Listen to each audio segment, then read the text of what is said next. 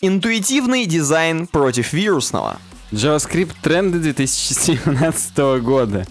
В YouTube появился контент для взрослых. Погнали! Погнали. Ну, всем привет. Да, всем привет, как вы уже догадались, с вами UWeb Дизайн и подкаст «Суровый веб». Сегодня 110 выпуск. И какое сегодня число? 24. 24 января 2017 года. Как вы опять же догадались, время уже позднее, то есть 11 вечера по Челябинску. Да. И мы, да, будем сейчас с вами разговаривать прям серьезно. На А. серьезные темы, на взрослые темы, как YouTube. Да, как контент ютубовский. У меня тут про все, SoundCloud, лайки, комментарии. Мы сегодня, мы сегодня какие? Мы сегодня особо не подготовлены или мы сегодня особо подготовлены? Мы но- сегодня особо одаренные, как в школе. Для особо одаренных я повторю. Ну давай, давай повторим для особо одаренных, действительно. Господа, вы же знаете, что на uwebdesign.ru вы можете оставлять свои темы, которые мы спокойно, э, с удовольствием рассматриваем в, в процессе подкаста или в конце подкаста, как, как нам удобно. Вот, вы берете, заходите в сайт-бар и оставляете вот в специальной теме для тем э, то, что хотите, чтобы мы рассмотрели, и и будет круто. Вы будете молодцы. Мы вам, возможно, вклеим звездочку в дневничочек. Или штампик поставим красненький на Со полях. свинкой. Да, со сви- Ну, кому какие ставили. Вообще, я про... Ты говоришь, в сайт-баре зайдете? Я не устаю напоминать, что в сайт-баре теперь реально можно зайти. То есть вот у меня даже активирован этот виджет на данный момент. В смысле, точнее, ссылка посещена. Виджет активирован. Все. Ну, тоже хорошо. Веб-дизайн настоятельно рекомендует войти на сайт и зарегистрироваться. Вот здесь такие ссылки для меня активны, потому что я всегда выхожу с сайта. Я сайт наш смотрю как э, читатель, как, Как слушатель, гость. как подкаст. э, Как подкаст.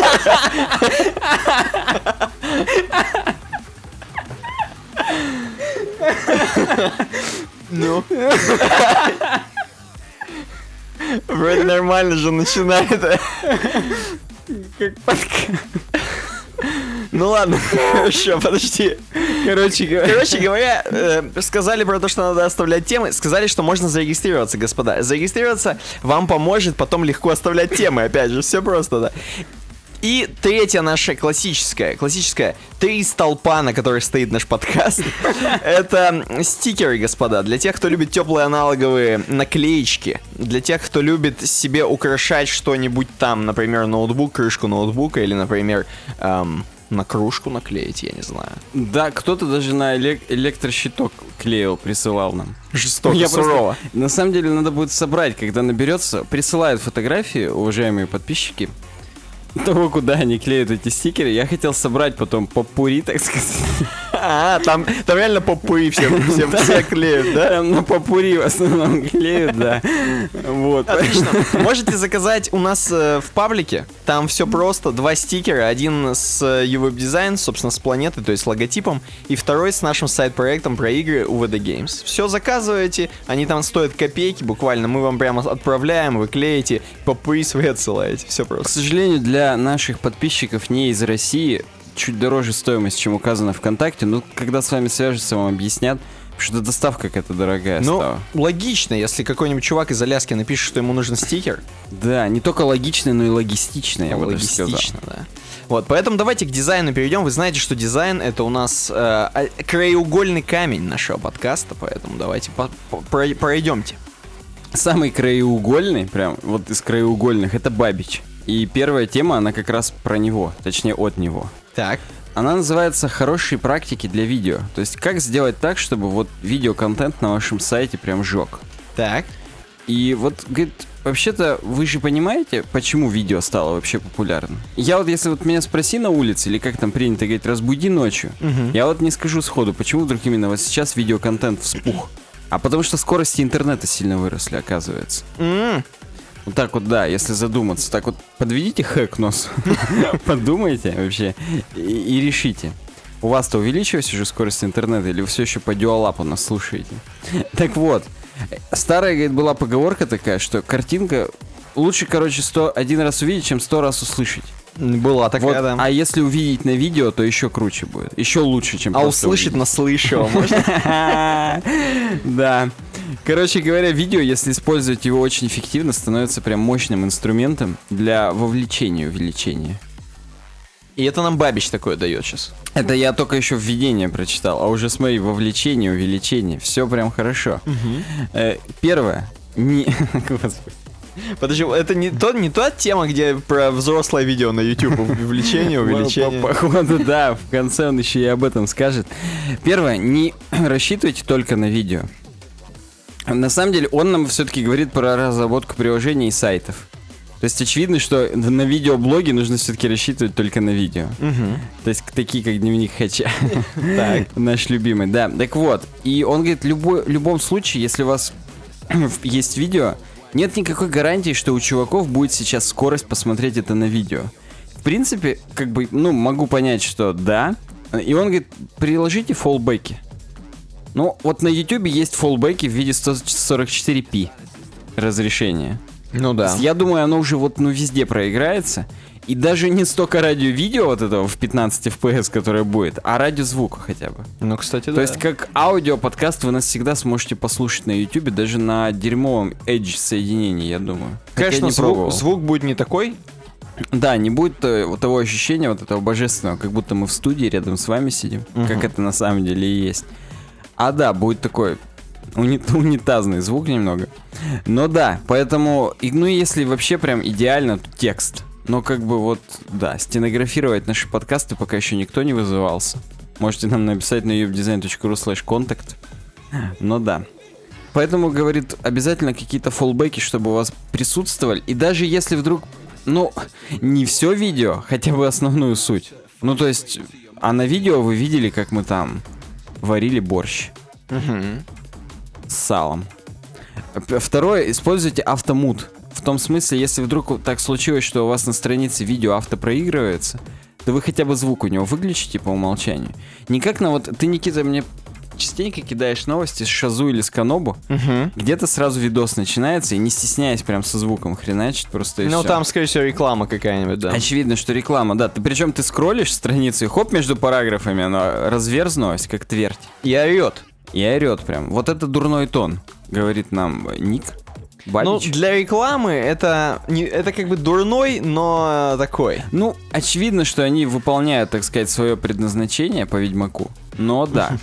И вот здесь он приводит пример, что вот, а Facebook видео, они не нуждаются в таком предназначении, потому что вот все у них круто, и хоть видео и авто проигрываются, в том числе, я так понимаю, Facebook, как там она называется, трансляция, Facebook Now, Так. насрать, Facebook Broadcast Limited. Вот, а там звук всегда выключен по умолчанию. Если не ошибаюсь, а я не ошибаюсь, кажется, на Твиттере тоже. В Инстаграме тоже преемственность Да, да, сохраняется. да. Кстати, ну Инстаграм с Фейсбуком в Твиттере не отстают от конкурентов, тоже звук по умолчанию выключен. Мгм. Но если я хоть чуть-чуть вдруг случайно тапну, то у меня уже full скрин видео открывается, я про телефон сейчас. И он заорет. И он сразу орет, да. Первое. Произведите хорошее первое впечатление, как мы сегодня, когда начали записывать подкаст. Э, в том смысле, что в самом начале видео должна вся суть быть. И вот не надо растекаться мыслью по древам, хотя бы в первые там, сколько, сколько-то первые 6 секунд, да, YouTube не пропускает, если вот реклама там, вот это вот все. И мы вот с тобой не растеклись сегодня. Мы сегодня вообще прям вот как надо. Четвертое. Сделайте так, чтобы, ну, точнее говоря, понимайте, что каждая секунда считается. Вот так вот Ник это, как это сказать-то, формулирует. Потому что под заголовок, пусть у вас видео будет как можно короче. Как будто для нас специально написал троллинг статью. Да, это точно для нас пункт. Э, Вот. Вообще он ну, как бы говорит очевидные вещи, что более мелкие, простите за оксюмарон, куски информации воспринимаются людьми значительно проще, чем крупные. Поэтому, да, чем меньше, тем лучше. Он так думает. Ну, допустим. Ну, он просто не понимает, что у нас жанр. Ник, если ты нас слышишь, Николяй. Нас- напиши для нас специально статью. Да, да, у нас жанр. У нас вот так надо. Представляешь, если мы тебя не первый час будем подкаста обсуждать, как всегда, а первый Первые пять 6 минут. секунд. Во, во. Ты, да, все. Даже не буду ничего. Тебя кто знает-то про тебя? Пятое. Давайте пользователям больше контроля. В том смысле, что все кнопки должны быть. А именно, вот если мы разберем YouTube, а я считаю, это хороший пример видеохостинга, скорость вам и 0,5, пожалуйста. И 0,7. И, и литр. И один, и полтора, и два. Все виды скоростей для восприятия. Вдруг кто-то нас под метамфетаминами слушает. И поэтому, собственно, я даже когда вот на Трихаусе еще ролики регулярно смотрел, я их на 2х, ну некоторые, кто сильно быстро едет, на полтора х слушал. И нормально воспринималось, и, и больше времени экономилось. Да много кнопок разных, субтитры включить. То есть там много всего. Да, просто вот вспомни, когда еще только начинался HTML5 API видео, там даже кнопка громкости-то была такая костная, ее она не работала на половине устройств, там, на первых айфонах, там, на айфонах 3G, я помню. И поэтому нельзя было даже звук убавить. И это вот плохой тон. Так я, не надо. я больше скажу, была такая эпоха у YouTube, когда они, видимо, сильно развивали технологии. И у них были всякие программы типа Feeder, или как там, вот это перышко. Ну, YouTube Да, Feather, и там вот это было все, и там можно было что-то там так много всего было на Ютубе раньше. Сейчас как-то они не работают Они просто тогда YouTube Feather, наоборот, выключал большинство вещей. И там флеш был выключен, там, и там реально половина не работала из-за этого, но зато быстро работала. Вот я, да. я-то все время это использую, потому что я на Safari тоже, опять же, тогда был. И там так, я не хотел флеш-плеер ставить, все так лагало. Но у меня половина видосов, которые именно с рекламой, партнерские, у меня прям сразу это видео не про- проигрывается на этом устройстве. Я обманывал, подставлял юзер-агента, типа я iPhone. И iPad, С- да, да. Ну, в общем, были времена, ты сейчас напомнил, Да, мне прям да, хорошо было, стало. было, хорошо. Я поэтому только и знаю, что там громкость кое-где не работала, потому что, как бы вот за тем, что я флеш не хотел включать, я потом геморроился очень сильно. И шестое, не забывайте об accessibility, то есть о доступности, и тут твои субтитры, о которых ты хотел Да, упомянуть. да. Пусть они у вас будут, если вы можете себе это позволить, потому что ваше вовлечение, опять же, увеличится. Ну и, и седьмой пункт это сделайте, так сказать, следующие шаги. То есть на YouTube вот сразу есть по умолчанию, если не выключить, автопроигрывание следующего видоса, самого релевантного к данному, Мгм. с учетом того, под кем вы зашли. И это, дескать, прям, ну, опять же, глупо отрицать, что это увеличивает вов- вовлечение, хотя и раздражает другую часть людей. Но какие-то люди, которые там, вот, я не знаю, готовят на сковородке, а у них монитор стоит, ой, монитор, ноутбук стоит на столе, как, например, я иногда делаю. Мгм. И им вот лень включить следующую серию, там, какой-нибудь летсплей или чего-то еще. Он автопроигрывается, и, и это нормально, это ну, круто. плейлист вырубают обычно люди, это нормальные. Ну, слушай, вот унизил, молодец. Получилось у тебя, да. А если я вот музычку хочу одножанровую включить, чтобы мне YouTube сам после System of a Down Nickelback включал? Ну, это у тебя проблемы. Согласен, если я уже одно за другим такое слушаю, то провериться надо. Вот, но если говорить о ваших веб-сайтах, то вот Так. есть какое-то видео, вы под ним аннотацию напишите. И напишите текстовые какие-нибудь пояснения, типа, а вот на 15 минуте вот мы делали так, хотелось бы развернуто на этом остановиться. Или, а вот с этим видео также смотрят, ну тоже на сайте, если у вас есть тип данных как видео, то вы можете его тоже на таксономии или на что-то разбить. Ну и, естественно, вывод, что вы это... Вырежьте всякие лишние вступления, как у нас, видимо. Улучшайте качество контента, и ваши зрители будут вовлечены в вас. Вот так нам говорит Бабич. Блин, мне интересно, сегодня реально повысится вовлечение или нет? По сегодняшнему выпуску. Потому что если да, то Бабич, мы не зря его читаем. да, А он- если не повысится, то надо задуматься над Бабичем. Может быть, он лишний в, этом, в этой телеге. Третье колесо. Пятое колесо в этой Да, телеге. да. Самое слабое звено. Прощайте. Че, идем дальше, да? Да, на блоге TypeKit. Это TypeKit это один из тех трех китов, на котором тоже стоит наш подкаст. У нас на столпах, а мир на китах. Ну Так ну. вот, они нам представляют новый шрифт Source Serif 2.0. А у нас сегодня вообще про шрифты, кстати, немножко дизайн затронется. Да, целых две темы. Вот первая из них, да. То есть, подожди, сейчас сразу скажем, давай, чтобы у нас все отвалились сразу. Это, то есть, нищебродом этот шрифт никак, да, сейчас? Не можно, он бесплатный в любом случае. И Source Sans Pro, и Source Serif, вот этот вот новый, они бесплатные хоть как. Но просто на TypeKit они тоже хостятся. Поэтому почему бы и нет. Окей, так. Видишь, они все, видишь, files are available open source on GitHub. По крайней мере, development files. Возможно, конечные шрифты все-таки нет. Мгм. И чем же он, чем же он отличается от Source Serif просто? Или, или чем? Э, Во-первых, поддержка кириллицы. Я думаю, это самое основное, о чем нам следует упомянуть для наших подписчиков. так. Потому что я вот Source Sans, его уже давно под кириллицу обновили, еще там в шестнадцатом году, возможно, в начале. И я его много где использовал на наших баннерах рекламных или там где-то еще, я уже не помню. Возможно, даже он в логотипе все еще используется, надо исходники открывать, чтобы смотреть. И он крутой, он реально крутой, это официальный шрифт, например, перепроцессора SAS. У Криса Койера используется Source Sans где-то. Ну, как бы вот есть люди, которые пользуются такими шрифтами. В редакторе Brackets это дефолтный шрифт. А у них source код для кода и для всех менюшек source sans. В общем, это добовские шрифты, и они их в своих проектах используют. Я так понимаю, что в и в иллюстраторе тоже он. Как бы не берусь утверждать, но наверняка, я имею в виду в менюшках.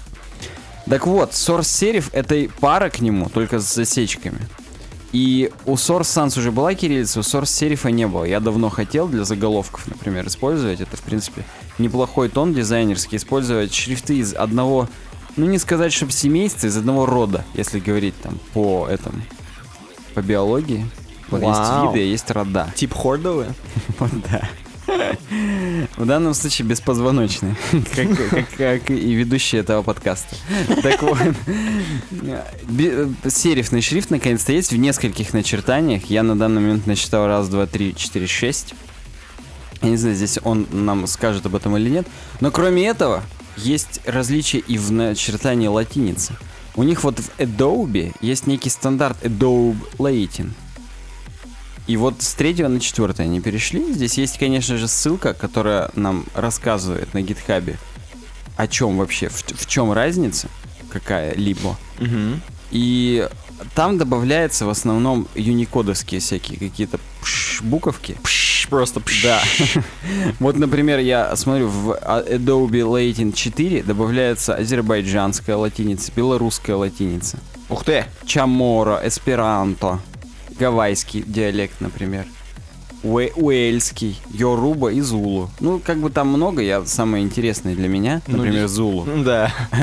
как-то осветил. Уже, между прочим, есть Adobe Latin 5, но вот он в Source серифе, видимо, как-то еще не, вообще не поддерживается. Собственно, кроме этого, здесь есть и некоторые изменения в уже существующих глифах, а глифами символы в шрифтах называют. Вау.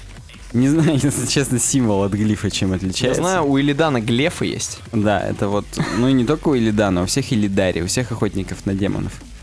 Извините. Ну вот, например... Вырвалось. Да, вот у Нолика палочка была раньше внутри пузика, а теперь она выходит из пузика чуть-чуть. То есть она прям, он ее держит уже перед собой.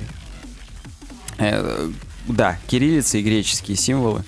То есть нас, возможно, не только кириллицы слушают, как мы, но и греки, которым интересно, а греческий ты добавился? Да, греческий тоже добавился.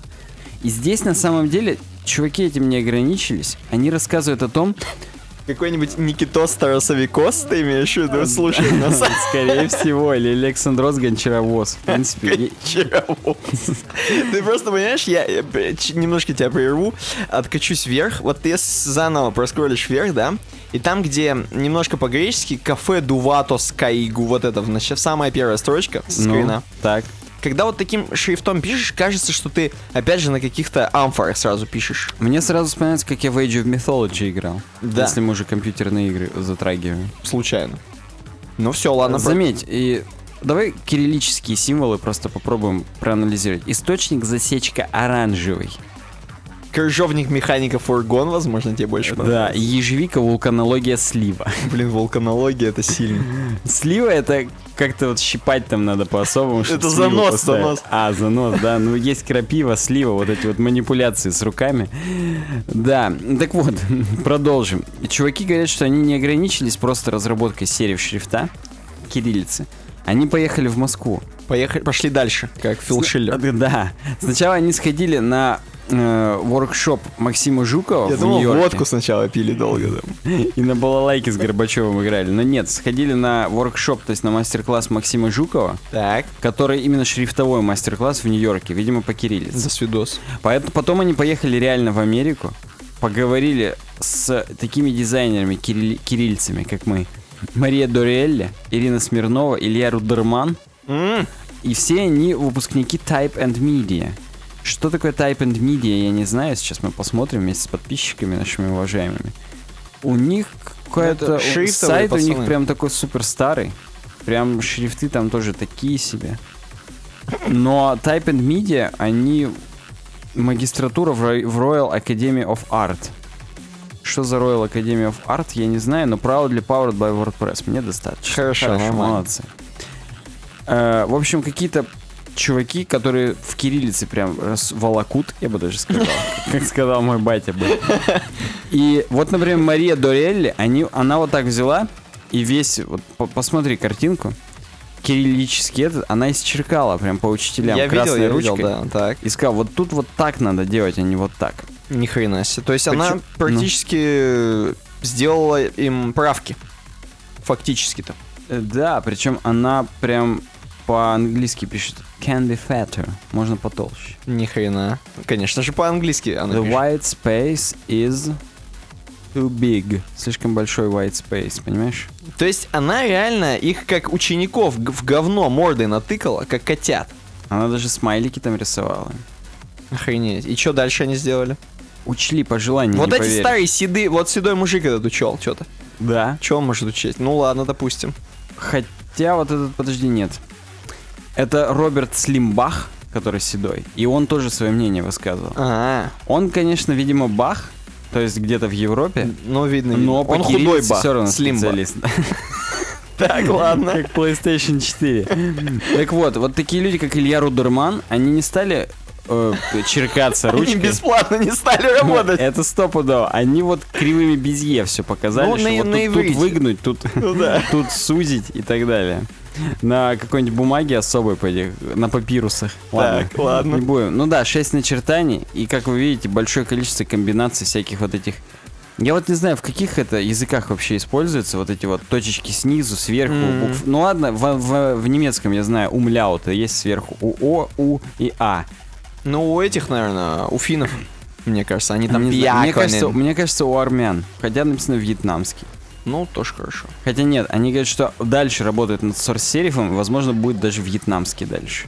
Ну, то есть, да, видимо, разрабатывая шрифт, нужно учесть столько деталей у каждого языка, так скажем. Причем для каждого начертания, я так чувствую. Да, это что опухнете. Вы тут, вы-то думали, это легко об ВГД там написать. Про булки, которые там к чаю. А на самом деле... Да, на самом деле, видимо, это целое дело. Поэтому это Франк Гисхаммер, я напоминаю, нам пишет все. Ну, хорошо, большое дело, большое. Следующая статья у нас новость тоже про шрифт, а именно как тебе? Давай, Никита, мнение. Про Бабича все понятно знаешь, Ну, мнение про него. да. А про шрифт вот, вот. Про, ши- про шрифт. Ну, слушай, прикольно. Мне нравится, что они... Мне нравится, что сами, сами Adobe используют в своих продуктах эти шрифты по полной.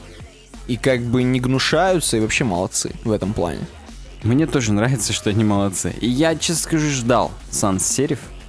Source Serif, простите. Sans Serif ждал это, я уже нар- на- наркоманию немножечко. Но следующий шрифт, он особенный. То есть ты, мы, грубо говоря, вот сейчас мы рассмотрели такой шрифт, который, ну, грубо говоря, используют люди так по вкусу. Следующий шрифт, он как бы, он, он какое-то значение имеет такое, он прям... Это прям тоже столб шрифтовой. Марк Симонсон сделал этот шрифт, и его я ждал еще больше, чем Source Serif. Причем настолько ждал, что я уже рассказывал в нашем подкасте «Суровый веб». Я надо помню- заново, надо заново. Да, я не помню в каком выпуске, поэтому просто перескажу заново, что вот как-то я задался вопросом, какой шрифт у себя на сайте использовать. Начал смотреть и увидел, что вот есть такой шрифт Proxima Nova. Он широкенький, а как найден мальчик, воспитанный майонезом. Он жирный, но нежный. Вот, я нашел шрифт, который широкий, Он без засечек. он без засечек, да. И он типа восприимчивый. И на самом деле на Западе его уже давно очень хайпили. И даже Инстаграм, по-моему, до сих пор на нем сидит. Я не, уверен, сейчас или нет. Сидит или нет. Но когда мы в прошлый раз рассматривали с Никитой эту тему, сидели еще. Live Journal на него перешел, Facebook. То есть, ну, Proxima Nova, она прям бомбанула. Я написал про, нее, про этот шрифт статью еще на сайте Luslol.me, который мой супер первый блог, еще году в 2011-2012 по веб-дизайну типа. Так вот, Я тогда написал Марку Симонсону просто на почту и написал, что типа, блин, чувак, спасибо. Это А, чтобы вы понимали, Марк Симонсон это чувак, который с, с маками, с аймаками сидит, и он старенький уже. Да, там седо- седой чувак, я сейчас зашел на About, У него там есть и наебал. там была, была картинка, сейчас нету. Что-то он уже это убрал. Он уже шифруется. Я сейчас запишу Марк Симонсон в Google, и там-то, я думаю, помнят все еще. Ну, наверняка, Ну да. вот, да, тут есть даже та самая фоточка, где он в очках седой и с аймаками сидит. Да-да-да. Причем он не то что с аймаками, с Mac Pro он просто сидит, с мусоркой. Вот. вот. Ну, как бы, вот такой учиться? чувак. Вот. И я ему написал просто на почту. Тут где-то была его почта, я не знаю, возможно, после того, как я ему написал, он ее и убрал. Вот. Но я ему написал, типа, Марк, спасибо, кириллица на Proxima Novi прям крутая, вообще молодец. И я его тогда спросил, вот есть у тебя шрифт такой, Proxima Nova Soft. А он именно еще, он прям как майонез. Он такой прям, ну, Он узенький, да, я так да понимаю? вообще? кого? Нет, он мягкий. Он А, в смысле мягкий. прям скругленный со всех сторон. Ну ты просто открой Proxima Я вижу, Soft. ага. И вот новый. И он, он вот такой и был примерно. И я ему говорю, а вот ты кириллицу не собираешься к нему тоже делать? По-русски ему говорю. Ты, Прям, прям по-русски, слышь ты.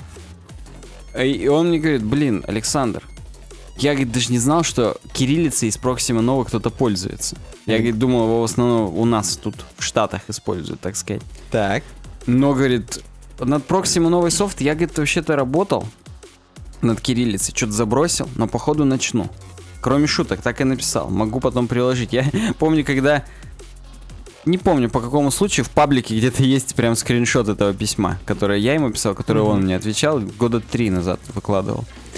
И вот вышла Proxima Soft, переиздание шрифта Proxima Nova Soft. Мгм. А, почему он сразу ее не сделал изначально? Потому что он его... Ее MyFonts просто шрифт попросил сделать этот шрифт для логотипа. То есть он настолько крутой, что у него площадки для продажи шрифтов просят просто сделать шрифт именно для них, лично для них. Ну, отлично. Вот, поэтому он его сделал просто в четырех вариантах. Regular, Medium, Semi-Bold, Bold тогда. И без всяких, без русских, без кириллицы, без греческого. Просто потому что, а нахрена? Он сделал вот как единичный заказ. А Потом решил, что все-таки надо развить эту тему. и Сделал Proxima Soft теперь. Это версия, как бы сказать, 2.0. И у нее уже все варианты. Обычная, condensed, экстра condensed. То есть обычный узенький и супер узенький для заголовков. Мгм. И все виды начертаний. Тонкий, Ну, тут до хрена. thin, light, regular, medium, semi-bold, bold, extra bold и black. То есть раз, два, три, шесть, восемь, по, по 8 начертаний. Полностью такой же набор, как у оригинальной Proxima Nova. Он здесь, кстати, дальше посчитал, что я тупой. Да, и то же самое, естественно, с обычным и курсивным. То есть все курсивы нарисованы, они не фейковые. Он, правда, схалтурил, сказал, что я э, small caps не сделал. А small caps, чтобы ты понимал, это маленькие заглавные буквы. Мгм. То есть они выглядят как заглавные, но они чуть меньше. Мгм. И кто-то иногда их использует, на самом деле. Вот он говорит, я их не стал включать, мне кажется, их никто не использует. Но если надо, я типа включу в следующий Если опять русские мне напишут. Да, да, видимо, да. И я-то, кроме шуток, и использовал на заголовках, например. Так надо писать, походу. Есть такой шрифт Троян Pro 3. Он, по-моему, называется Троян Pro 3. Он в винде дефолтный, в Paint просто есть. Троян Pro 3.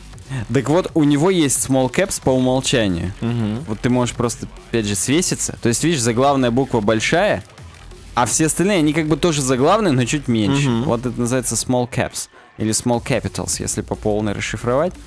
Вот их он не стал делать, но говорит, надо, если сделаю. В общем, смотрите сами.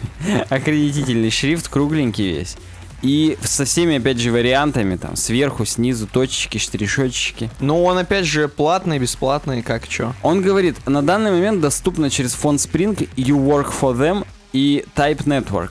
Но, говорит, через какое-то время будет через всех моих дистрибьюторов доступно. Отлично. Через всех пушеров. Ну, на TypeKit, стало быть, тоже будет. Потому что Proxima Nova на TypeKit есть, и вообще он с ними запартнерился так нормально. Мгм.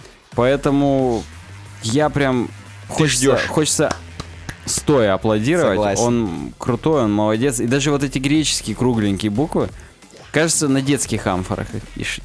Прям вот они такие утю-тю-тю. На детских кубиках, да. Ну Да, вот да, греческие. представляешь, глиняные греческие кубики, на которых учили греческим буквам, аль- альфа, бета, гамма, вот на них. Что-то как-то... Не, ну нормально. А что дальше-то? Какая тема? Интуитивный дизайн против вирусного. А где она у меня? А хрен его знает. Она вообще темы слушателей, и она находится на хабре. Я понимаю. А, вот, да, все. У меня просто почему-то скроллинг сбился. Илья нам ее посоветовал еще 11 января. И перейдем. Он, кстати, написал, что хорошо теперь с регистрацией. Не могу с ним не согласиться. Это, возможно, он переехал в Москву, и там у него с регистрацией все. Наконец-то у него вопросов не, не возникает на улице у людей в форме.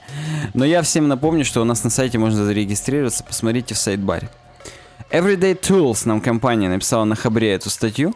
Так. И она вот прям считает, что есть такое понятие нынче, как интуитивный дизайн. И он пришел на смену... Ты ёкарный бабай. Интуитивный пришел на смену консольному, то есть интуитивный это первый графический. Мгм. А сейчас еще вирусный пришел. Он пришел на смену интуитивному, простите. Так вот, ты, Никита, снапчатом пользовался или так и ни разу не пользовался? Я, честно говоря, даже не заходил. Я как бы знаю как явление. Да, вот я примерно так же знаю как явление, но не пользовался. И почему я сейчас об этом вспомнил? Потому что Snapchat это пример вирусного интерфейса. Мгм. Но обо всем по порядку. И хотя, ладно, опять же, в самом начале он говорит, что непонятный дизайн Snapchat это не баг, а фича. Так, ну-ка. Что же это значит? Есть примечание переводчика. Кстати, непонятно. Ну, то есть, э, tools, да, как там они называются? Everyday tools, они не смогли перевести слово shareable. Как бы ты shareable пере- перевел? Ну, то, чем... Как бы доступное, я не знаю. Ну вот, вот я бы... Доступный, кстати, у них есть в списке. То есть ты попал к ним в шорт-лист. Yes. Они рассматривали такой вариант. Во-первых, очевидный вариант расшариваемый. Ну, говно. Ну, согласен. А тот, который можно поделиться. Ну, доступный, по-моему, это лучший Ну, выбор. Да, я когда готовился к теме, у меня было какое-то слово прям хорошее, кроме расшариваемый, потому что оно то самое хорошее. Ну, в общем, они вот пытались как-то перевести, поэтому... Ну, а, ладно. Да. В общем, они говорят, мы ничего не хотим плохого про интуитивный дизайн сказать. Чтобы вы понимали, интуитивный дизайн это 97-й Word Excel. То есть это вот эти ленты с картинками. Почему интуитивно? Потому что интуитивно ты понимаешь, что дискетка это сохранить, а папочка это открыть. Мгм. Особенно папочка со стрелочкой, которая как бы открытие прям показывает. А иконка с диаграммой означает, не поверите, диаграмму. Это и есть интуитивный дизайн, и его завезли как раз потому, что компьютеры стали широко распространены, и уже люди не могли заучивать целые мануалы вот эти вот юниксовых команд, чтобы управлять техникой. И Нужен был интуитивный интерфейс. Просто чтобы компьютеры более мягонько вошли в нашу жизнь, Ага. и Microsoft, к примеру, потратил уйму времени, используя, изобретая способы сделать дизайн программ более интуитивным. То есть это нам сейчас все кажется очевидным и, так сказать, само себе разумеющимся. Но нет, они-то попотели, прежде чем так сделать. Попотели, попотели, да не очень-то, потому что теперь все идет дальше, как Фил Шиллер. И в 2008 году центральное место в мире техники пришло к мобильным телефонам. Да ладно. Там что это? Было, что ли, что? Ну вот Айфон это? Ну, iPhone в седьмом, а в 2008 прям плотненько уже. Уже Samsung выпустил какой-нибудь телефон, видимо, там, или 3, 3G вышел iPhone. Так. Поэтому да. И теперь пользователи, э, э, господи, разработчики создают приложения для пользователей, которые открывают их с мобильного на ходу, часто в окружении других людей. И не только уже взрослые открывают, но и дети. М, И поэтому есть два тренда взаимодополняющие в дизайне интерфейсов новые, которые пошли с 2008 Первый это переход к физическим жестам, как это ни странно, потому что мы взаимодействуем прикосновениями пальцев. мгм. И даже дети уже интуитивно понимают, как это делается. Опять же, интуитивно, но вирусно. Ну так вот, понимают, и даже потом, ну, есть классические ви- видео, где дети держат обычный журнал в руках и хотят, хотят его pinch to zoom сделать, расширить пальцами. Это, конечно, уже ди- дичь, но тем не менее. А второй тренд это в том, что в реальности люди учатся производить те или иные действия, наблюдая за другими. То есть больше никто не покупает книгу Microsoft Excel для чайников. Они идут и спрашивают, слушай, а как вот в Excel то сделать? Да. И многие дизайнеры, к сожалению или к счастью, все еще не учитывают, что дизайн должен быть shareable, доступным. То есть можно, чтобы можно было, блин, там, короче, тыкаешь в бок и все. Вот. И, по сути, это возвращение к той традиционной модели обучения, которой всегда пользовался весь мир. Наблюдая за другими, вы научились бросать мячик, брать кружку, завязывать шнурки и открывать двери. Тебе это не кажется, как будто эта обезьянка повторяет за другой К обезьяной? сожалению, Или кажется. Я тоже хотел сказать, что это мы опять скатываемся в отупение полнейшее. Но если мы хотим зарабатывать деньги на интерфейсах, походу придется содействовать вот этому отуплению. Главное потом не сесть за это содействие. Согласен. Поэтому хотите пользоваться, понять, как пользоваться Snapchat? Перефразируя изречение Граучо Маркса. Это очень просто. Найдите подростка, он вам покажет. Ух ты. Человек, который много пользуется приложением, сможет научить вас всему. Как делать фото, рисовать на них, накладывать фильтр, открывать секретные ручки, например, черную и белую, менять лица, добавлять друзей при помощи QR-кода и так далее. То есть сейчас нужно настолько делать приложение, чтобы хотелось пойти сказать, видел, как там можно это. И все такие, блин, блин, а как там это? И все. И вирус, это и есть вирусный дизайн, потому что он как вирус распространяется, очевидно, то есть половым путем. Ну да. И Snapchat блестяще справляется с этой задачей, к примеру. В каждой из его, казалось бы, мудреных функций кроется возможность для пользователя научить друзей классной штуки. То есть, я вот не знаю, как можно заложить именно так функцию, чтобы прям ее хотелось показать. Ну блин. Вот я смотрю на наш внешний звуковой интерфейс M-Audio M-Track 2, и э, мне вот как вот я должен захотеть тебе крути... Прикинь, я покручу крутилочку и громкость. Вот, допустим, электрический разряд мне, когда в пальчики будут бить, я захочу поделиться, чтобы ты тоже попробовал. Но Не, это ну так почему? уже Ты бы вот сам у какого-нибудь диджея, если бы тебе там Скрилик сказал, чувак, смотри, у меня крутилки покрути. Это же ты бы покрутил крутилки. Ну да, но он и не сказал бы, потому что ничего феерического и завораживающего в его крутилках нет. Ну, для него-то уже давно нету, а Да и для всех прикольно. остальных тоже, ему уже 30 с чем-то, поэтому как бы его крутилки уже не завораживают так, как раньше. В общем, вирусный дизайн основывается на понимании того, как социален по своей природе процесс обучения и использования желания людей учиться и учить. То есть, ну я не знаю, вот если бейсбольная бита после удара будет какие-то фейерверки выпускать из себя, то захочется, блин, а ударь битой, попробуй. Вот так вот в бейсбол настоящие мужики играют. Хоп, и звездочки, бабочки полетели, ми-ми-ми, ня-ня-ня. Радуга. Да, поэтому есть вот какое-то преимущество такое определенное, кроме стимула, конечно же. Во-первых, во-первых, другое преимущество вирусных интерфейсов состоит в том, что функция не загромождает экран. Банальные интерфейсы становятся менее загроможденными, вот без этих ленточных большого количества кнопок, потому что мы там смахнули, тут смахнули. Мы же как бы при смахивании даже не кнопку не жмем. Мы можем в любом месте смахнуть, и оно сработает как интеракция, то есть взаимодействие. Поэтому это опять же плюс для мобильных устройств, а Мгм. это именно, как бы сказать, с мобильных-то и пошло, я повторюсь. И кроме этого, вот в, данном, в данной статье рассматривается позитивный социальный, так сказать, вопрос, что мы социализироваться начинаем. Мы прям так хотим узнать, как пользоваться снапчатом, что идем и заводим новых друзей. И Ну, уже не говорим, видел, какая погода на улице? Там, давай обсудим там что кого. А, Мгм. кстати, а ты не покажешь мне, как пользоваться снапчатом? Как там свапать? Да, поэтому вот не знаю даже, как это... У меня двойственное отношение, то есть высказывая, опять же, отношение к темам, я считаю, что далеко мы так зайдем. Далеко назад причем. Но, видишь, это надо понимать, что, короче, это именно для молодежной аудитории, будем говорить. Если перейти все-таки к интерфейсам серьезным, то, наверное, лучше скилломорфизма пока никто ничего не придумал. Просто потому, что скилломорфизм это жизнь наша.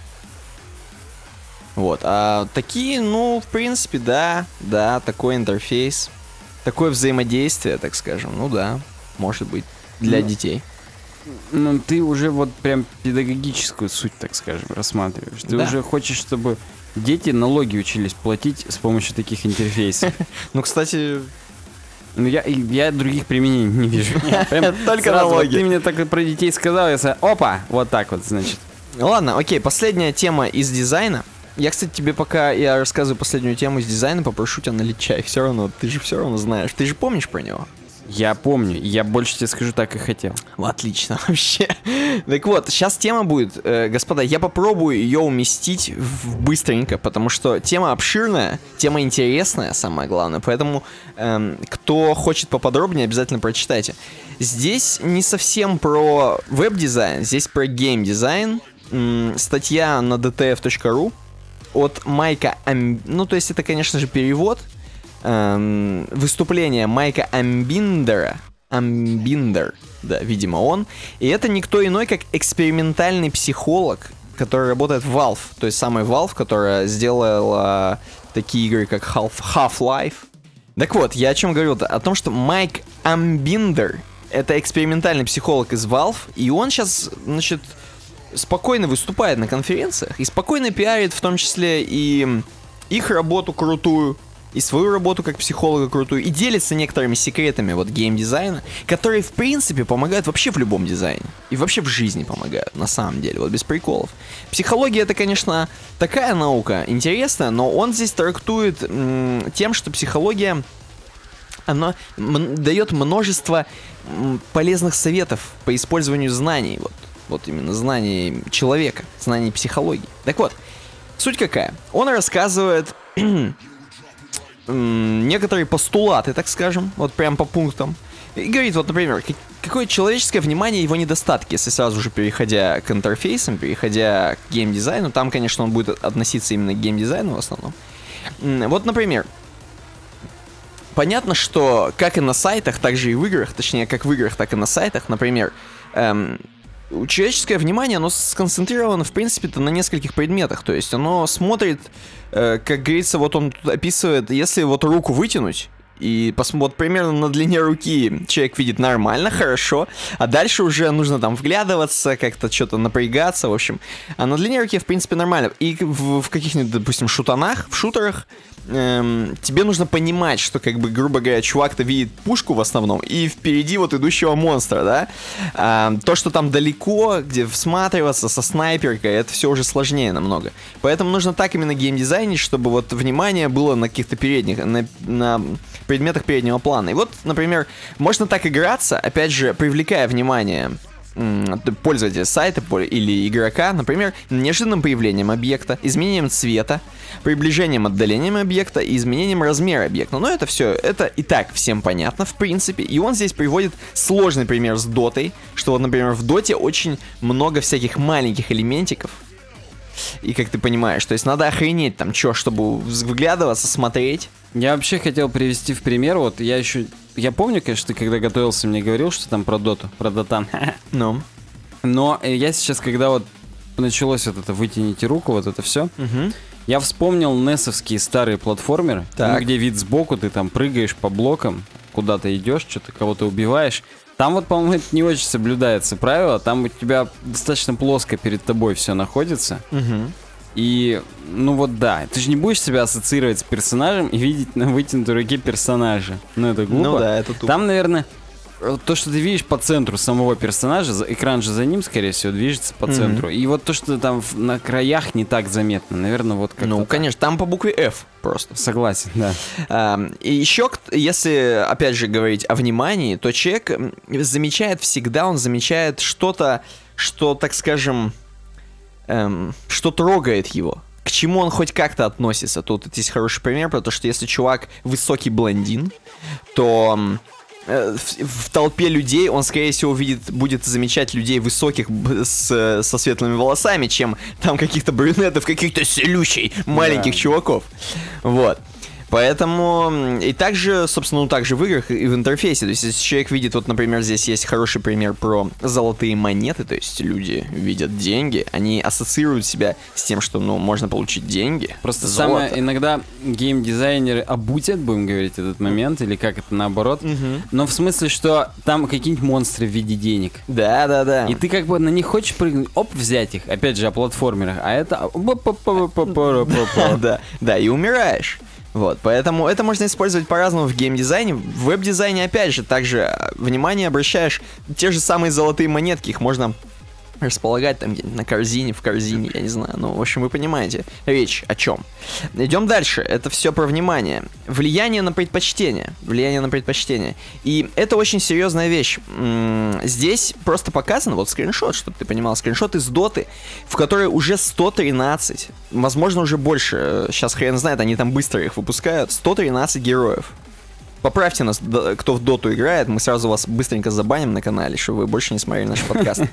Э, Вот, 113 героев, и надо же выбрать-то как- как- какого, какого. И у каждого чувака, который, в принципе, играет в доту, у него есть некий сет эм, героев, которыми он любит играть. Ну вот тут он говорит, ну, я, говорит, спокойно отвечу, что это Anti-Mage, Legion Commander, Pooch, Templar Assassin, Нага, Чен и Windrunner. Р- Windranger, простите. Виндрейнджер, Да, простите. И, короче, это да, но если ты такому чуваку, который, ну, как бы с чистейшей точкой зрения, покажешь ему, а вообще-то ты знаешь, что сейчас люди все выбирают вот другой сет. И покажешь ему, что вот, чувак, ты вообще играешь ты даже не теми героями. И ты покажешь, сколько людей этим пользуются. Этим сетом там миллионы людей играют. И он начнет понимать, что, скорее всего, что-то он делает не так. И он даже может спокойно извини- из- извинить, изменить свое мнение.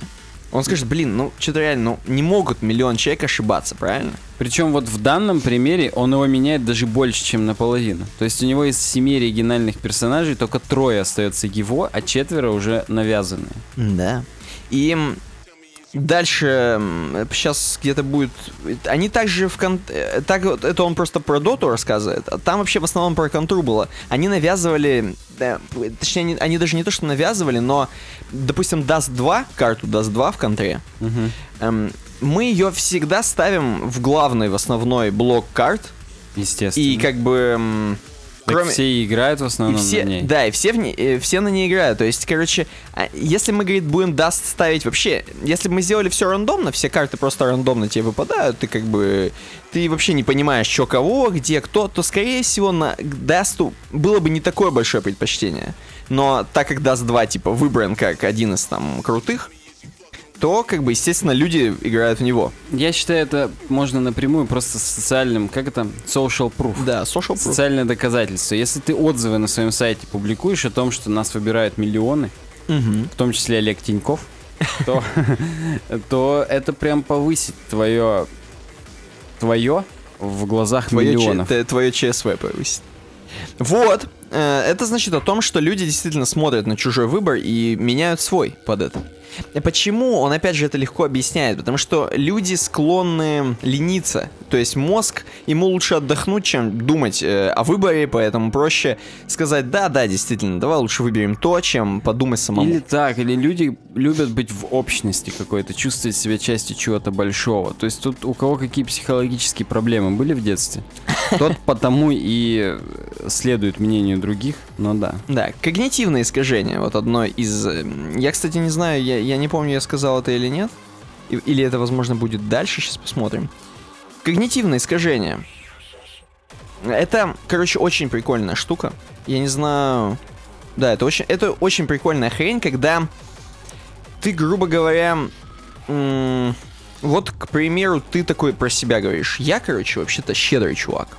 А потом идешь по дороге и нищему не подаешь мелочь. И у тебя сразу когнитивное, то есть ты такой, блин, я же вроде про себя думаю, что я щедрый чувак, но моими действиями не подкрепляю это. И у тебя когнитивный диссонанс. Так.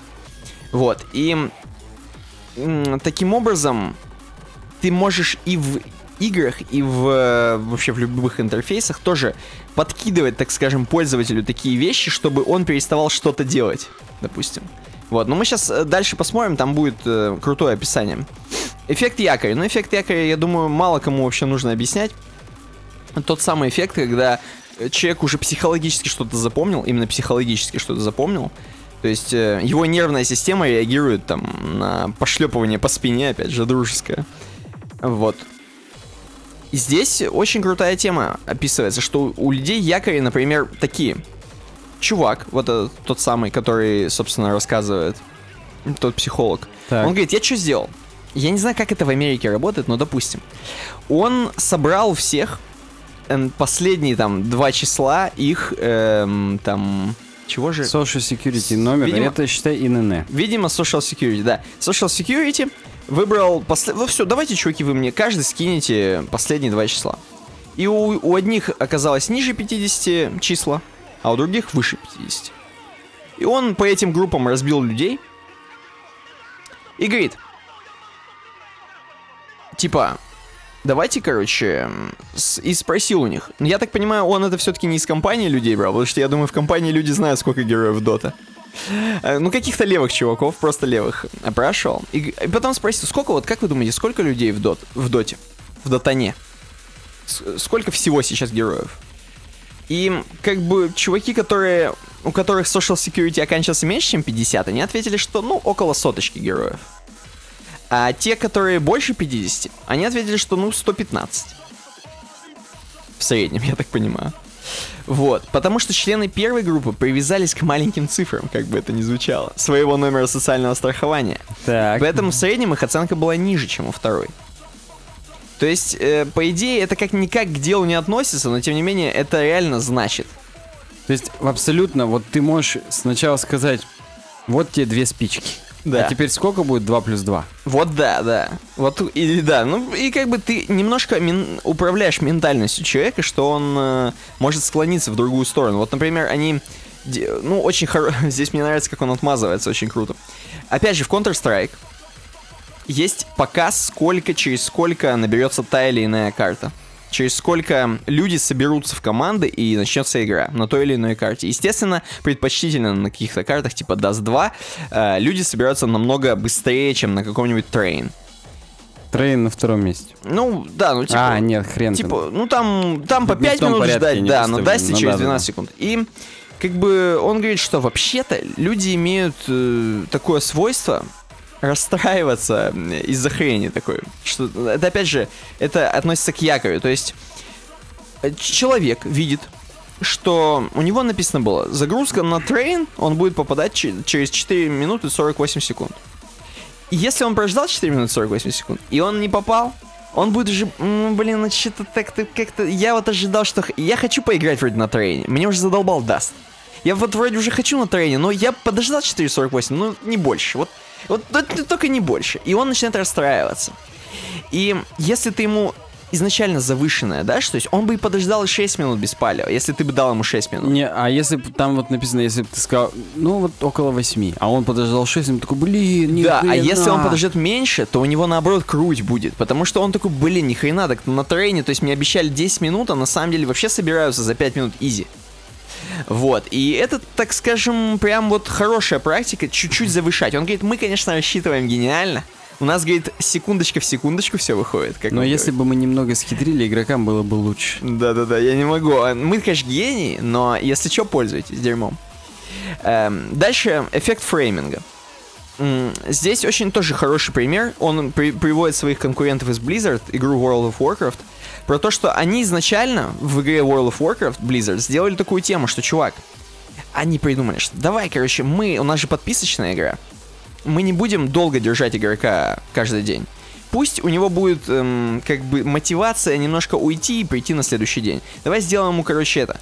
Он играет первый час, у него 1000 очков кач, а следующие часы 500 очков. На самом деле, сюжетно они это обосновали тем, что только в отдохнувшем режиме у персонажа 2х рейты на кач. Да. Вот. И как бы вроде и такое чувство, что когда игрок играет, ему говорят, чувак, у тебя сейчас у первый час 1000, а потом все. И это как будто тебя прогоняет. А, ё-моё, ты посмотри, то, что я сейчас сказал, это только потом стало. Ну А вот. сначала у них реально просто уменьшало и все. Но, а потом они это обосновали по-другому. Типа, чувак, у тебя всегда 500, но в первый час плюс 500, прикинь, бонус. И ты такой, вау, ни хрена, первый час-то вообще лютуем, гуляем.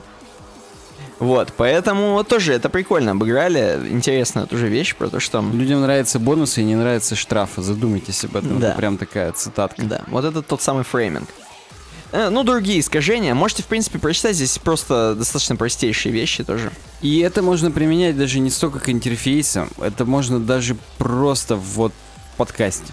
Например, эффект недавнего. Тенденция придавать повышенное значение недавним событиям. Трамп, Трамп, Трамп, Трамп, Трамп. Трап. Так. игнорирование искажений. Мы верим, что когнитивное искажение влияет на поведение всех, кроме нас самих. Трамп, Трамп, Трамп, Трамп. Опять же. Ну, короче говоря, да, это прям хорошая тема, можно ей этим, этим пользоваться. И Ну да, то есть тут, тут в принципе несколько таких прикольных тем. Давай дальше пойдем. Следующий блок. А, Следующий блок. эм, это даже не блок, это продолжение, как бы следующий абзац. Мгм. Слепота к выбору и интроспективное объяснение. И здесь еще более, не то чтобы даже тупость, а действительно слепота людей раскрывается. Он говорит, что вот допустим, психолог из Valve говорит, вот допустим, чувак, тебе дают вот дефолтный выбор между людьми, которых ты вообще не знаешь. Так. Просто двух людей тебе поставили, говорят, а это, короче, красиво, э, как, выбери, какой более симпатичный. Просто вот, какой более симпатичный. Люди примерно одинаковые. Брэда Питта тебе поставили и Хью Джекмана. Какой более симпатичный? Представь себе, да? Ты такой, ну, Брэд Питт, окей, показал, короче. И тебе после этого вообще дико тебя загружают, дают кроссворд поотгадывать, шахматы поиграть с Каспаровым. А, Вот. А потом, э, короче, тебе говорят, ну все, поиграл, да? А теперь, короче, это- а что ты, кстати, Хью Джекмана ты выбрал? И ты начинаешь сразу такой отмазываться. Ну блин, ну Хью Джекман, у него борода, он росомаха. Этот уже Брэд Питт-то все, он уже даже отжил свое, развелся. А потом, ты понимаешь, что ты, во-первых, Брэда Питта выбирал изначально. И чувак тебя просто заставил ментально отмазываться. Потому что ты уже, ты напрягался, у тебя башка уже отгрузилась, и, и ты, короче, забыл про то, что ты уже выбрал. Ты реально просто уже ищешь повод, эм, то есть человеческий мозг, он очень хорошо отмазывается, он очень хорошо находит причины. Как это объяснить? То есть легко, ле- ле- э, мозгу проще что-то объяснить, эм, ну просто типа не отмазаться, как сказать, найти какое-то объяснение э, своему прошедшему выбору, чем, вы, чем выбирать, так скажем. Вот. Вот тоже вот такой прикол. Ну охренел, это сейчас прям как-то я перезадумался. Сразу Хью Джекман, Брэд Питт, чё кого? Да. Вот. Люди очень хорошо умеют давать объяснения, даже когда в этом нет смысла, да, вот. Когнитивный диссонанс и токсичность. Вот это, да, это отличная тема, на самом деле. Вот тот самый когнитивный диссонанс, про который мы немножко уже поговорили, здесь очень круто обыгран. Все знают, что в Dota 2, опять же, где дерут мамок, эм, все говорят вс- всегда гадости друг другу. И вот, говорит, какое мы поведение ожидаем в доте, говорит. Точнее, какое поведение мы бы хотели, чтобы было у игроков в доте. Вот здесь есть скриншот. И, собственно, здесь просто чувак спрашивает, типа, привет, я новичок в доте. А как играть там за чувака на этом, на вертолетике? Helicopter Man. И обычно в доте, в принципе, тебе сразу ответят, да ты fucking noob там и так далее, и suck my dick. Так. Вот, но здесь чувак отвечает типа правильно, как хотели бы разработчики. Он говорит, базара нет, Дота, короче, это да, я все, я в принципе крутой, могу, готов поделиться, эм, ну, в принципе, как играть. Я знаю, как играть, давайте я расскажу. Ты такой, блин, черт, я только что умер, ну как бы все нормально, я только что умер. Вот, да не, ничего, не проблема это, он ему отвечает, типа, все Я нормально. доб- не подготовлю немножечко рациональную, конструктивной обратной связи и все тебе расскажу. Да, в доте, ну, конструктивная обратная связь. Вот. Но вообще, он опять же говорит, и вот люди токсичные. А, тут был перевод. Я-то просто... Да-да, там и перевод был. Люди токсичны даже не потому, что они просто бесят, что их бесят другие люди, а потому что сама по себе Dota это сложная игра. И сами люди нарушают, э, сами люди делают ошибки, допускают, но они своих ошибок не видят. Они видят чужие ошибки, следят за чужими ошибками в основном, указывают на чужие ошибки. Э, Вот. Ну, такое вот, такая просто психология у людей. Опять же, эффект Дайнга Крюгера, который мы разбирали, про то, что когда человек ни хрена не шарит, он думает, что он до хрена специалист. Вот. И опять же, там по экспоненте, чем он больше шарит, тем он в себе более не уверен и говорит о том, что он менее шарит, опять же. Вот. И очень крутая тема про репорты. Очень кру- крутая тема про репорты. Ну, здесь просто он одним словом обмолвивается о том, что можно, как обычно, эм, зарепортить. То есть оставить, как это сказать-то по-русски? Отзыв. Да, ну, оставить отзыв, можно сказать. Пожаловаться. Пожаловаться, да, на игрока, который что-то говно делает. И у них даже в доте приходит, что вот вы пожаловались на того-то чувака, а мы его потом э, сделали ему low priority. Сделали ему низкий приоритет, он теперь не может нам говорить в микрофон, не может писать в чате и так далее. Вот, и ты, Охренеть, ты типа... Работаешь? Да, да, типа ты как бы участвуешь в обществе. Но это даже не об этом. Здесь еще круче пример. Здесь мы, говорит, пытались избавиться от того, а, что люди постоянно, короче, думают, что они крутые, а все остальные говно в команде. Мы это как сделали? Ну, то есть понятно, что они полностью, наверное, не избавились от этого, но они сделали такой опросник в конце матча. Там, типа, нужно выста- выставлять звездочки. И говорят, вот как ты считаешь, как ты, типа, оцениваешь, как команда сыграла? И ты такой, ну, типа, одна звезда. Как сыграли другие игроки? Одна звезда. А как ты сыграл? И ты невольно захочешь поставить себе пятерку. Но ты никогда сам, ну, все равно в глубине души ты знаешь, что ты говнил. Что ты был лох. Так. И ставя себе пятерку, как бы, типа ты врешь вроде как, но у тебя возникает когнитивный диссонанс. То есть ты, у тебя твои действия не соотносятся с тем, как ты думаешь. И тебя это, тебе в следующем матче тебе захочется играть хорошо, чтобы себя потом оценить на хорошо. Эм, только потому, что вот просто такая психология человека, ты не можешь сам себе врать вот постоянно. То есть понятно, что люди там по приколу, которые мамок драли, они там поставят 5 звезд себе несколько раз. Но заочно ты все равно знаешь, что ты говнил. У них ментальные силы на это уходят. которые, Конечно, да. да. конечно. Вот поэтому это серьезная вещь, они здесь работают сильно над этим. Э, Ну вот, соучастие игроков я уже сказал, опять же, это про то, что мы говорим о том, что вы очень нам сильно помогаете тем, что репортите людей, бла-бла-бла. Мотивация здесь не особо интересна. Просто, в общем, почитайте эту статью, прикольная тема. Вот, я думаю, можно на этом закончить э, блок дизайна. Согласен. Но у нас дальше ты сильно-то не А я, я не расслабляюсь, я знаю, что у нас дальше блок светских новостей. Но, господа, светские новости, это сейчас будет, короче, не знаю, калейдоскоп, вот таким я словом русским назову. Отличное слово, а главное со смыслом. Много маленьких каких-то... Много м- попуи, как Да, мы уже же. говорили. Да, много маленьких прикольчиков. И мы как бы вроде бы в светские новости пошли, но немножко про user interface, про дизайн. На Вайреде, да, все еще гру- группа дизайн горит у меня сверху. Все еще группа дизайн. И знаешь, что суть какая? Какая? Господин Эндрю Бут, какой-то суперизвестный дизайнер, до свидос что делал, мужик, мужчина, был нанят э, для таких фильмов, как The Dark Knight, то есть как Темный рыцарь, Казино Рояль, Force Awakens и всякие там Роги Ваны ваши. Он, собственно, сделал, да, для последних Звездных войн, то есть для Rogue One, сто- вот для Star Wars Stories. Эм, Изгой один в русском прокате. Да, в русском прокате изгой один.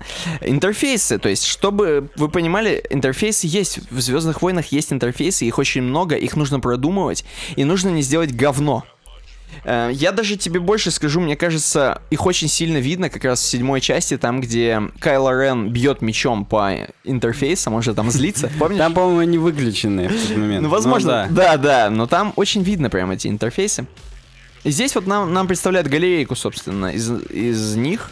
И в статье в самой пишет, что, конечно же, сам чувак Эндрю, он основывался и на фильмах 1970-х годов, и вообще на старых интерфейсах, потому что мы, конечно, говорим о футуризме, но это такой футуризм, который растет из саги 1970 года. Да, тут просто так 78-го. Просто Да-да. так и сказано, что мы вот с Force Awakens нам говорили, что в принципе надо так же, но чуть по-другому.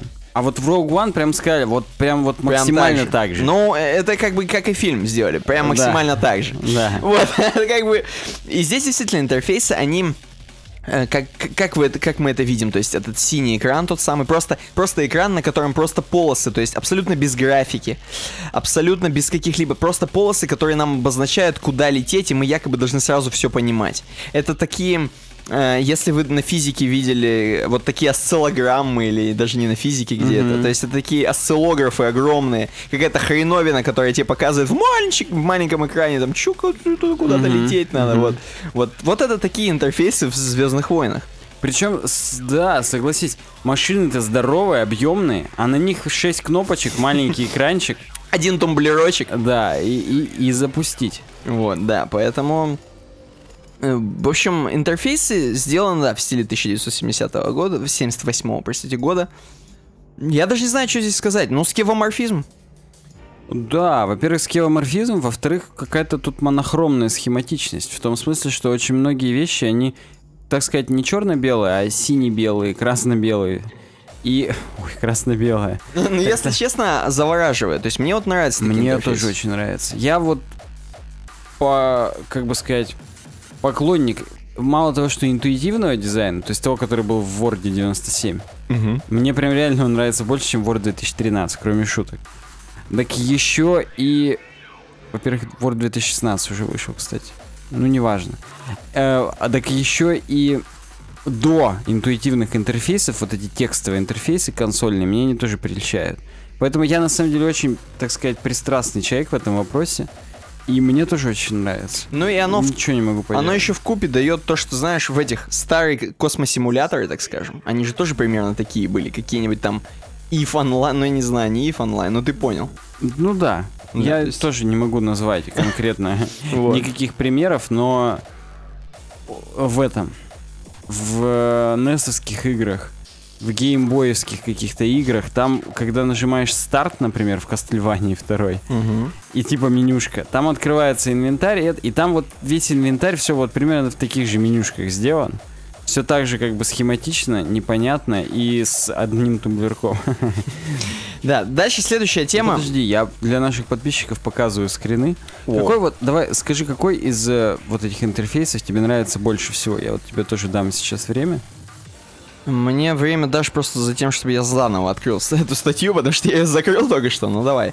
Эм, мне больше всего нравится, на самом деле, там, где синенький все-таки. Почему-то мне, Самый-самый первый. мне нравится там, где синие и белые полосы, да, это С прикольно. Google рекламы не нравится тебе? С Google рекламы круто. Мне нравится тот желтый, который на пушках. То есть он и четвертый из девяти, и девятый из девяти, Ну я понял, да. а он прям вообще крутой. То есть- Желтый на черном. Да, желтый на черном. Во-первых, контраст приятный. Во-вторых, он еще... Я географию очень люблю. Все эти карты. Он более военный, так Да, скажем. согласен, да. Он, конечно же, возбуждает определенные какие-то эмоции в плане того, что хочется сразу как Ленин на броневик стать. Да, да, да. Но что-то в этом есть. Что-то в этом прям такое. Не просто вот компьютер, а еще и вот топографические какие-то карты. Топографический кретинизм, да, вот это все. Переходим э, к следующей теме, и это уже нас спускает немножко на землю. Просто поговорим о деньгах, о мирском.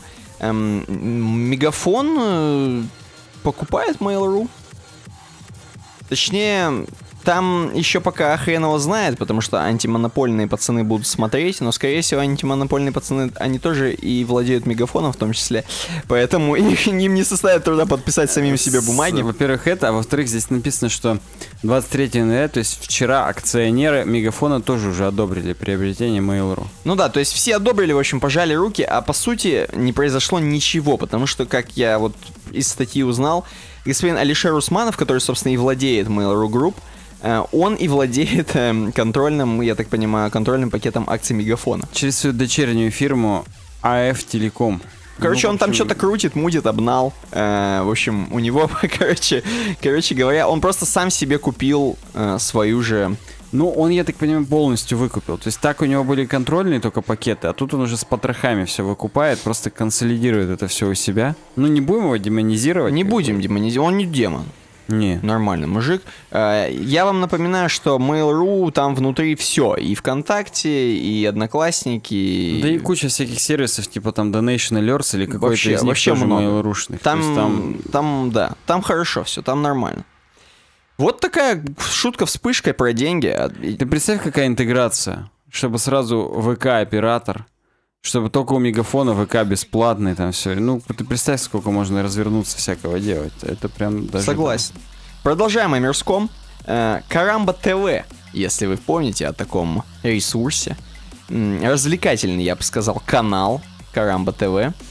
Эм, Его слили. Его прям слили, потому что СТС Медиа, по-моему, они так называются, да, СТС Медиа, они вроде как купили контрольный пакет Карамбы ТВ, тот, тот самый, той самой Карамбы ТВ, где выходил плюс 100-500 special выпуски, которые можно было посмотреть только на Карамбе ТВ. И а 100-500 для наших молодых зрителей и слушателей это роль видеоблог на YouTube. Вот. Короче говоря, ее слили по такой причине, что это дает интервью, между прочим, чувак Михаил Орлов, который изначально, собственно, Карамбу ТВ там и придумал, как я понимаю. Они там вместе, наверное, с э, Петром, который э, работает над плюс 100-500, в общем, они там все вместе мутили, неважно. Суть главная такая, что СТС Медиа купив контрольный пакет и поставив всех людей, практически всех людей заниматься работой над Карамбой ТВ, опять же, они тем самым, видимо, не понимая, как вообще в этой индустрии варится, или как делается интернет-маркетинг, или что там, или как делается интернет-контент. В общем, слили, короче, Карамбу ТВ по полной. Ну, то есть они вот, например, в частности, здесь написано, отказывались от э, блогеров, хотя за них не держались, хотя, ну, очевидно, что, Что надо. да, даже вот в пятых елках за них уже держатся. Вот именно, Чуть-чуть. что, да, что даже уже Алишер Усманов, наверное, держится за них. Хотя они, по идее, должны за него, ну ладно. Вот, поэтому вот такая тоже, опять же, быстрая вспышка. Какие-то вот эти старые из 90-х 2К, 2К08, 2К8, 2К7, вот эти вот канальчики Карамба ТВ закрываются вот так вот. И еще и умудряются э, э, чувакам, у которых купили Карамбу, предъявлять, вы нам говно продали. Вот Ну, такого плана вещи. Да, это смешно, это смешно. Э, Следующее прикольное. Мы как бы про Valve говорили, а вот, собственно, главный по Valve, Гейб Ньюэлл. Э, статья новая на ddtf.ru. Опять же, про деньги. Немножко приземленно поперли. Э, Гейб Ньюэлл превысил по деньгам состояние Трампа. А Трамп, между прочим, это новый президент США. Трамп, Трамп, Трамп, Трамп. Трамп, Трамп, Трамп, Дональд. Донни! Донни!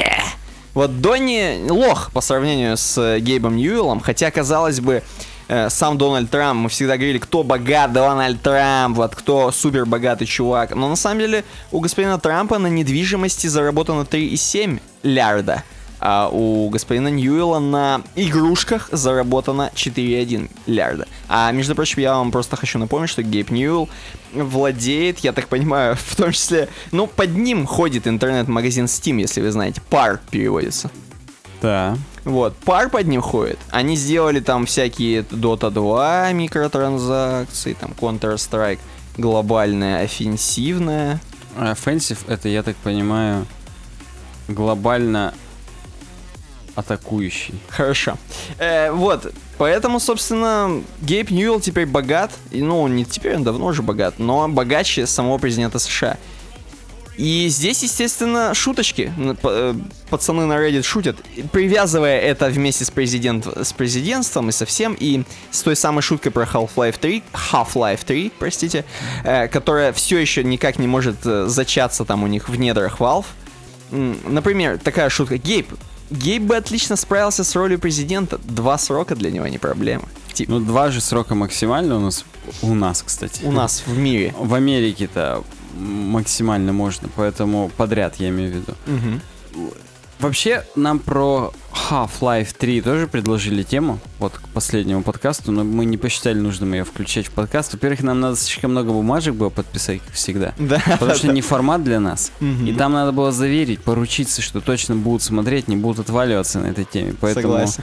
обошли мы ее стороной, но я думаю, что все и так в курсе, что третью часть Half-Life уже лет 10 как хотели, хотели выпустить.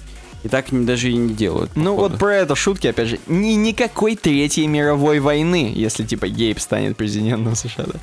Сенатор, президент Ньюэлл, как мы поможем странам третьего мира? Гейб, третьего? В общем, вот такие вот смешные шутки, да. Мы поздравляем, собственно, толстяка Добряка. Я надеюсь, он, я надеюсь, он добрый человек. Я очень надеюсь, потому что если он злой, то, возможно, следующим президентом станет он. Все будут опять ныть, а в итоге скидки в стиме, и мы все купим. Опять. Может быть, да. Да, вот дальше. Я не знаю, следующая приземленная. Следующая не приземленная, господа. Сейчас в облака полетим. В облака полетим, и наверняка э, вот этим браузером наверняка должны были пользоваться те люди, которые вышли против Трампа вот недавно в в марше. Как же он назывался? Это Woman March или как-то так, там, где все тяночки США вышли вместе со всеми геями и были против Трампа, чтобы он не грэб э, him by the pussy, him именно. Вот. В общем, недавно был э, тот самый, да, этот. И, собственно, опера «Неон». Я думаю, она вышла именно к этому. Но вообще, нет, на самом деле шутка. Она вышла 12 января. Опера «Неон» — это новый, новая веха, новый вид, новый взгляд на браузеры от опера, собственно.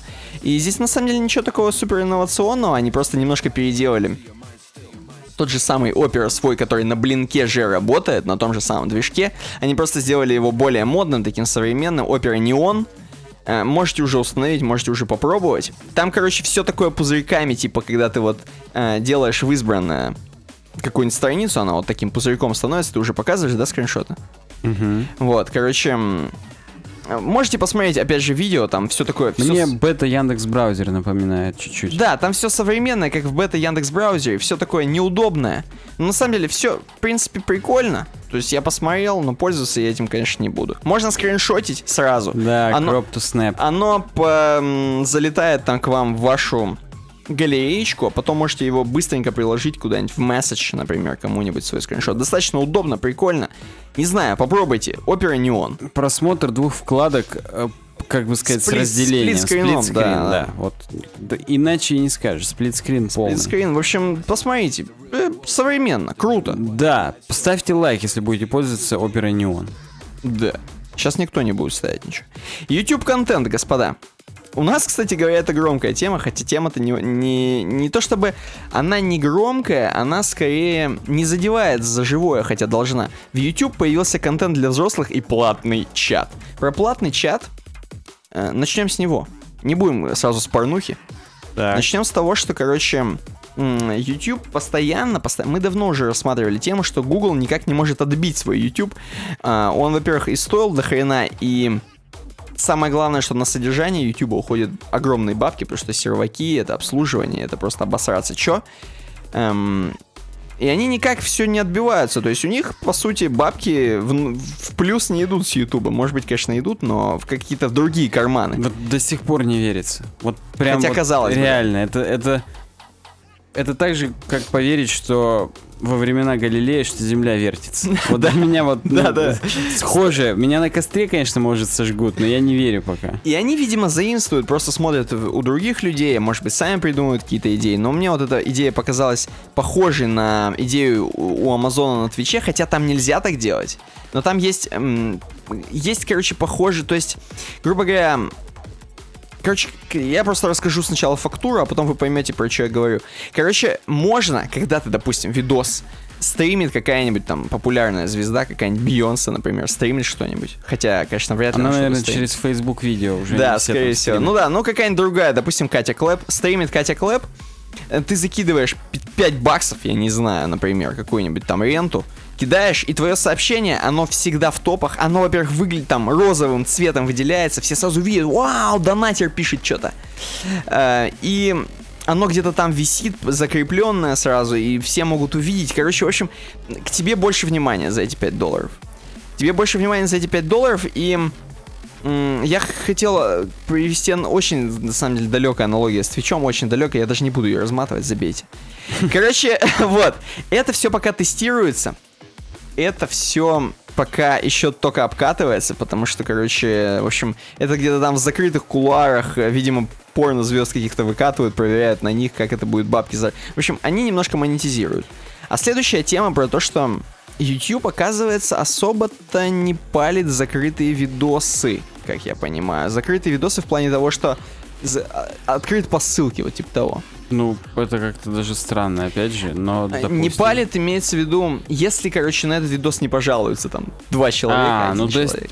не палят, пока не это. Пока не пожалуются, да, си- И тем самым люди, которые заливают порно на YouTube, они могут просто закрывать для сервиса YouTube. То есть закрыто, открыто по ссылке и встраивать к себе на сервис. У них на сервисе сидят все чуваки там извращенцы дикие, никто не жалуется, все отлично, вы раздаете порно, по сути. Эм, Схема рабочая. схема наверняка. рабочая, пацаны, нормально. Только как контролировать захождение человека и его, так сказать, деньги, если ключом является только лишь ссылка? Ну, то есть, Да какая разница, ты, у тебя реклама будет встроена, там все вообще. ты, ну, а эту ссылку потом можно передать. Ты один за весь подъезд купил, все скинулись, а все остальные по твоей ссылке Согласен, смотрят. согласен. Все смотрят твое порно, да. Либо, либо. Только ты когда оплачиваешь, там же когда полностью замочком закрыто, недоступен по ре- ссылке. Не, ну, Там можно по почтам добавлять, кому доступно. не, а прикинь, как с Google AdSense тебе переть будет. Я только об этом. У тебя миллионы будут просмотров. Так там же прет-то в основном за клики. А кто будет кликать, когда А там у них происходит? Ну да, в принципе, не знаю. Ну окей, вот, вот такая, ну просто схема рабочая. Чуваки могут заливать. Нормально, попробуйте, кстати, пацаны. Может тоже попробовать, у нас же есть YouTube канал. И не один. Э, Следующая тема, мы продолжаем немножко про порно. Лысый из Brazzers, тот самый Лысый из Blizzard, Лысый из Brazzers, создал свою страницу на ВКонтакте. А он умеет что-то создавать. То есть у него, в принципе, есть мозг. У меня, к сожалению, почему-то в э, наших темах открыто. Почему? А, опять же, у меня скролл не так. Все. Там, где лысый из Brazzers, у меня доскролливалось почему-то до почему не вышел Half-Life 3. Хорошо. Э, Джонни Синс, чувак, то есть э, с псевдонимом Джонни Синс, на самом деле он какой-то Стив Волф, эм, создал э, страницу на ВК, вроде как она уже verified, потому что здесь она все еще не verified, но в свежей новости, но, по-моему, она уже verified. Э, Тебе друг друг рассказывал. рассказал, друг Так. рассказывал. Сейчас я зайду. Друг, да. У него verified, все нормально. 38 лет ему. 31 декабря он родился, как-то жестоко, прям в Новый год. Хотя ему-то похрену, он там Christmas они отмечают. Вот да. Эм, Вот, и, собственно, общается с аудиторией, и можно уже его добавить, и как бы, вот я даже не знаю, что здесь сказать еще. Вот так вот, вот так порноиндустрия входит к нам. К нам входит, как бы это ни звучало. Эм, Лучше бы она осталась где есть. Да, идем дальше. Эмодзи. Эмодзи. Мы любим про эмодзи немножко поговорить. На этот раз здесь еще и мы любим поговорить про то, какой Android хреновый. А здесь и то, и другое сразу. Мне сейчас, знаешь, вот я слушаю тебя, и как будто из разных. Про то, какой Android хреновый. Уже другим Мы голосом. нарезали, в нарезали, да. Короче говоря, Эмодзи и Android, господа, смешались вместе в коллаборации, смешались в экстазе, слились. И представляешь, что говорят-то? Оказывается, Эмодзи-то, пацаны, которые разрабатывают Эмодзи, то есть Unicode, Так. которые утверждают, не любят Android. Знаешь почему? Потому что Android хуже всего распространяется и обновляется до следующей версии. Соответственно, Эмодзи на нем распространять достаточно сложно, новые паки.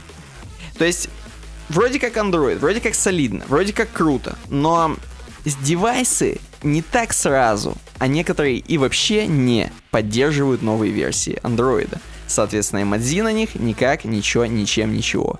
А на айфоне такой проблемы нет, потому что даже старые телефоны, даже типа 4S, даже, наверное, четверки поддерживают последнюю ось. М-м. Четверки не Четверки уже не поддерживают. Ну да, четверка просто была тогда, когда еще наши слушатели не родились, скорее всего. Вот. Но 4S вроде как поддерживают. И, по крайней мере, поддерживают урезанный функционал, в, который, в котором эмодзи-то есть. Поэтому вы не парьтесь. Вот такая история с андроидом и эмодзи. Поэтому они там, возможно, не любят их, воюют. Возможно, у всех чуваков из Unicode телефоны iPhone. Идем дальше. Последняя, по-моему, тема из, из свесок. Я уже... Потому что у меня уже... Мгм. У меня уже я уже. Да, и она про Шерлока. Кстати говоря, про Эмодзи нам, по-моему... А нам там много чего предлагали, я ничего не говорил. Денис К. нам предложил про эмодзи, про лысого из Brazzers нам предложил лысый из Brazzers, как это ни странно. Да, а предыдущие у нас уже не подписчики. И, собственно, Денис К. нам же предлагает про Шерлока. Ну, про Шерлока сейчас, наверное, все в теме, но я немножко скажу, просто вдруг кто-то в танке.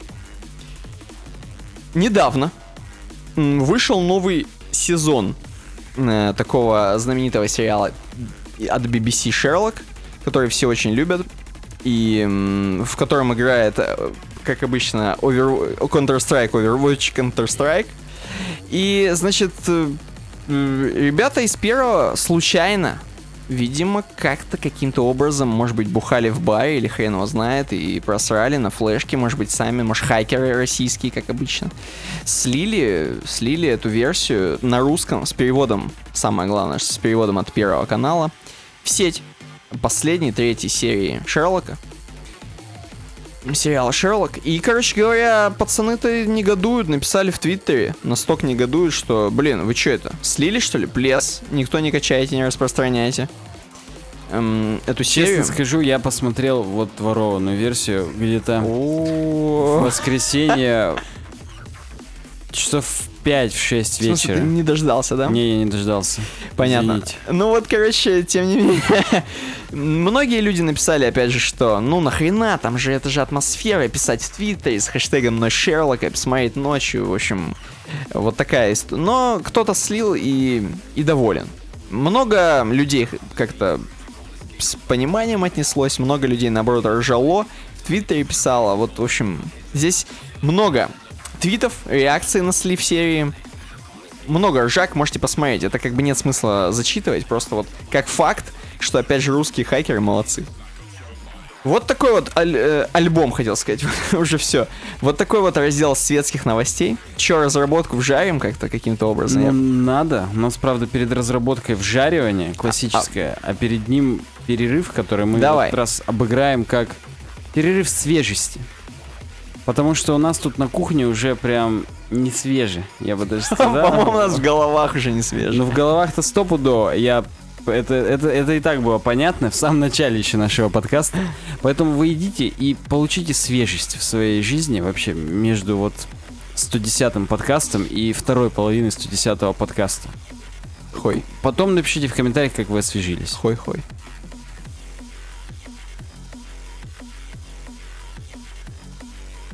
Ну и самая разработческая тема из разработки у нас, как обычно, uwebdesign.ru slash smarttape.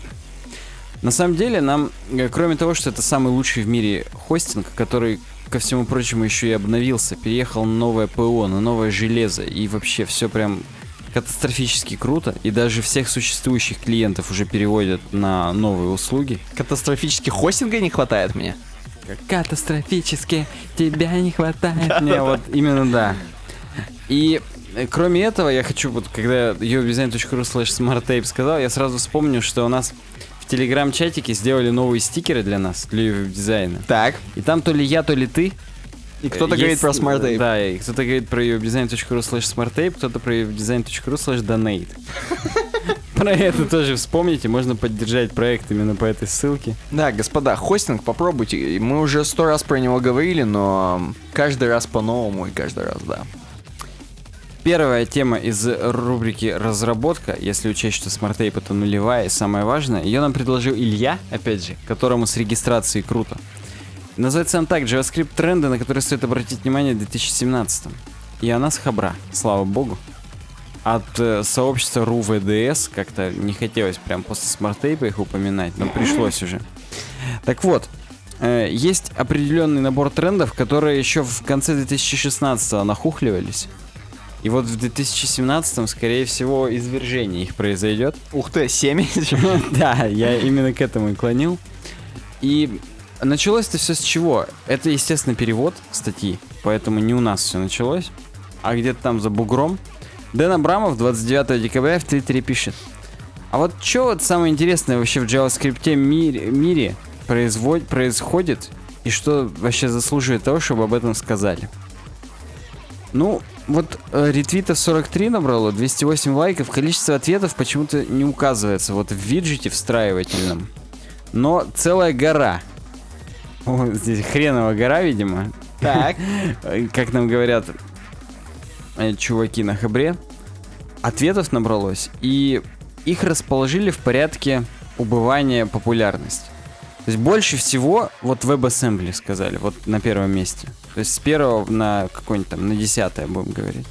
WebAssembly мы с Никитой неоднократно обсуждали. Это возможность использовать другие языки программирования, возможно, более низкоуровневые, чем JavaScript, для того, чтобы как-то в веб-страницах в жизнь вдохнуть, какую-то интерактивность и динамичность в них воткнуть. Э, на самом деле, она пришлась по душе многим, хоть она еще и не готова. То есть она даже еще и не разработана, и вообще. Сейчас находится, цитирую, в фазе ознакомительной версии. До релиза еще далеко. Какие именно языки там сейчас уже поддерживаются, я понятия не имею. Здесь есть материал Эрика Эллиота, по котор- в который можно, естественно, перейти. И он там говорит о том, что вот is the WebAssembly, the dawn of a new, of a new era. Заря новой эры, новой эпохи. Он еще в 2015-м, между прочим, написал эту статью. Так. А я не знаю, насколько она актуальна, но с учетом того, что в начале 2017 нам об этом говорят, значит, видимо, актуальна. И значит, видимо, совсем в фазе ознакомительной версии все находится. Но если коротко, то вы сишное приложение можете запускать на страницах. Это какая-то отсылка к флешу небольшая или к Java аплетам. Но вот только уже для более широкого спектра языков, и, видимо, как-то это более нативно произойдет, чем установка какой-то хреновой, например, в браузер. Угу. Следующее это Elm. Elm, чтобы вы понимали, это язык функционального программирования, который компилируется в JavaScript в итоге. И если верить выдержке из введения в Elm, то особенности такие.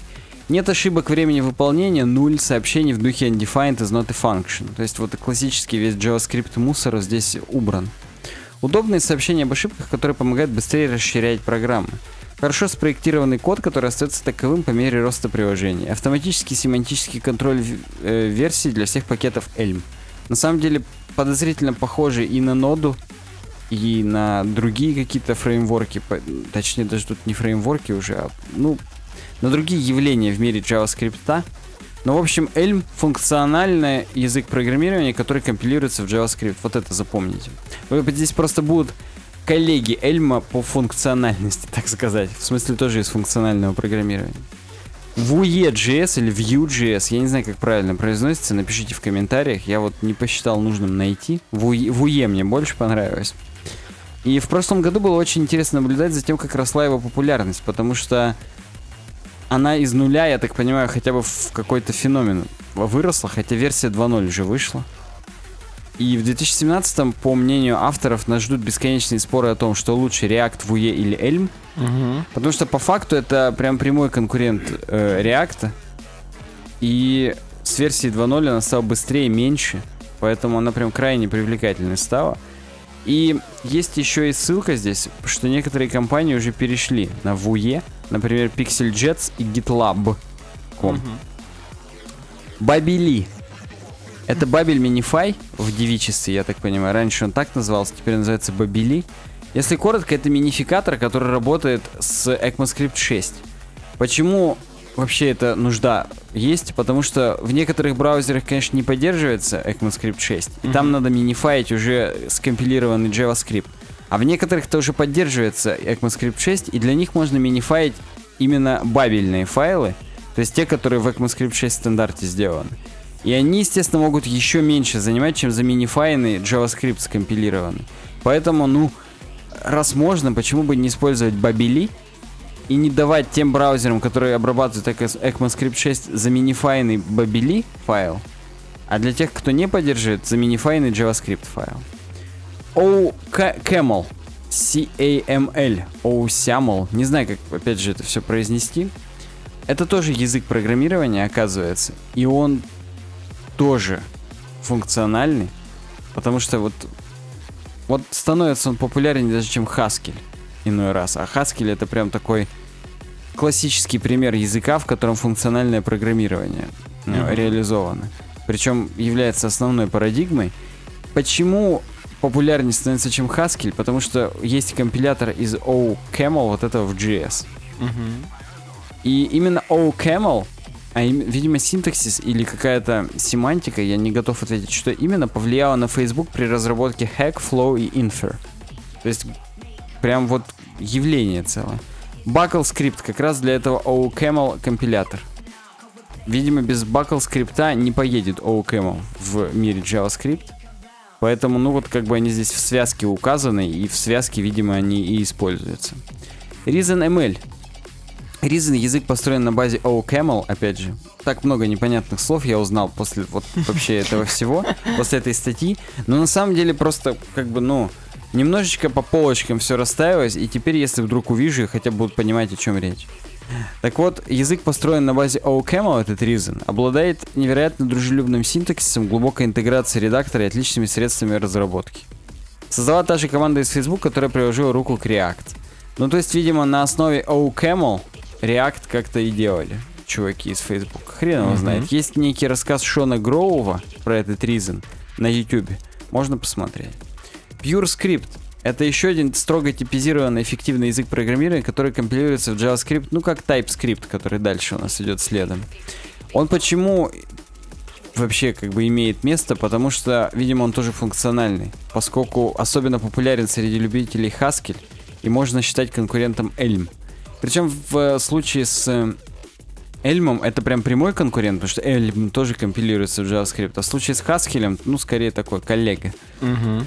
Э, даже смена типов здесь, пожалуй, мощнее и удобнее, чем в том самом Haskell. Короче говоря, PureScript Это вариант как TypeScript, только TypeScript это, конечно, все же ООП в основном, потому что там прям строго типизированный он первый был и объектно-ориентированный. А вот Pure Script для функциональщиков. Собственно, вот он TypeScript, если я не ошибаюсь, его Microsoft изначально сделали, но я, не, да, на MSDN.com про него рассказ, значит, значит Microsoft. Я просто, ну, мельком помню, еще в 2012 году это было, поэтому уже и забылось. В общем, это строго типизированная надстройка на JavaScript. Компилируется, и, кстати, редактор Atom его поддерживает из коробки просто именно TS-файлы. Кстати, .ts файлы это еще из э, со спутникового телевидения записи так выглядит. Почему знаю? Потому что серия Шерлока украденная была с расширением TS. Да и как бы до этого знал, но просто уже в тему пришло. Webpack Blocks. Хороший способ конфигурирования Webpack. Как будто просто его э, конфигурировать недостаточно. Поэтому вот, да. Структурированными блоками просто настройки вот представлены. И для этого надо целую библиотеку отдельно делать. Вот, вот, вот так вот. Граф Куэль.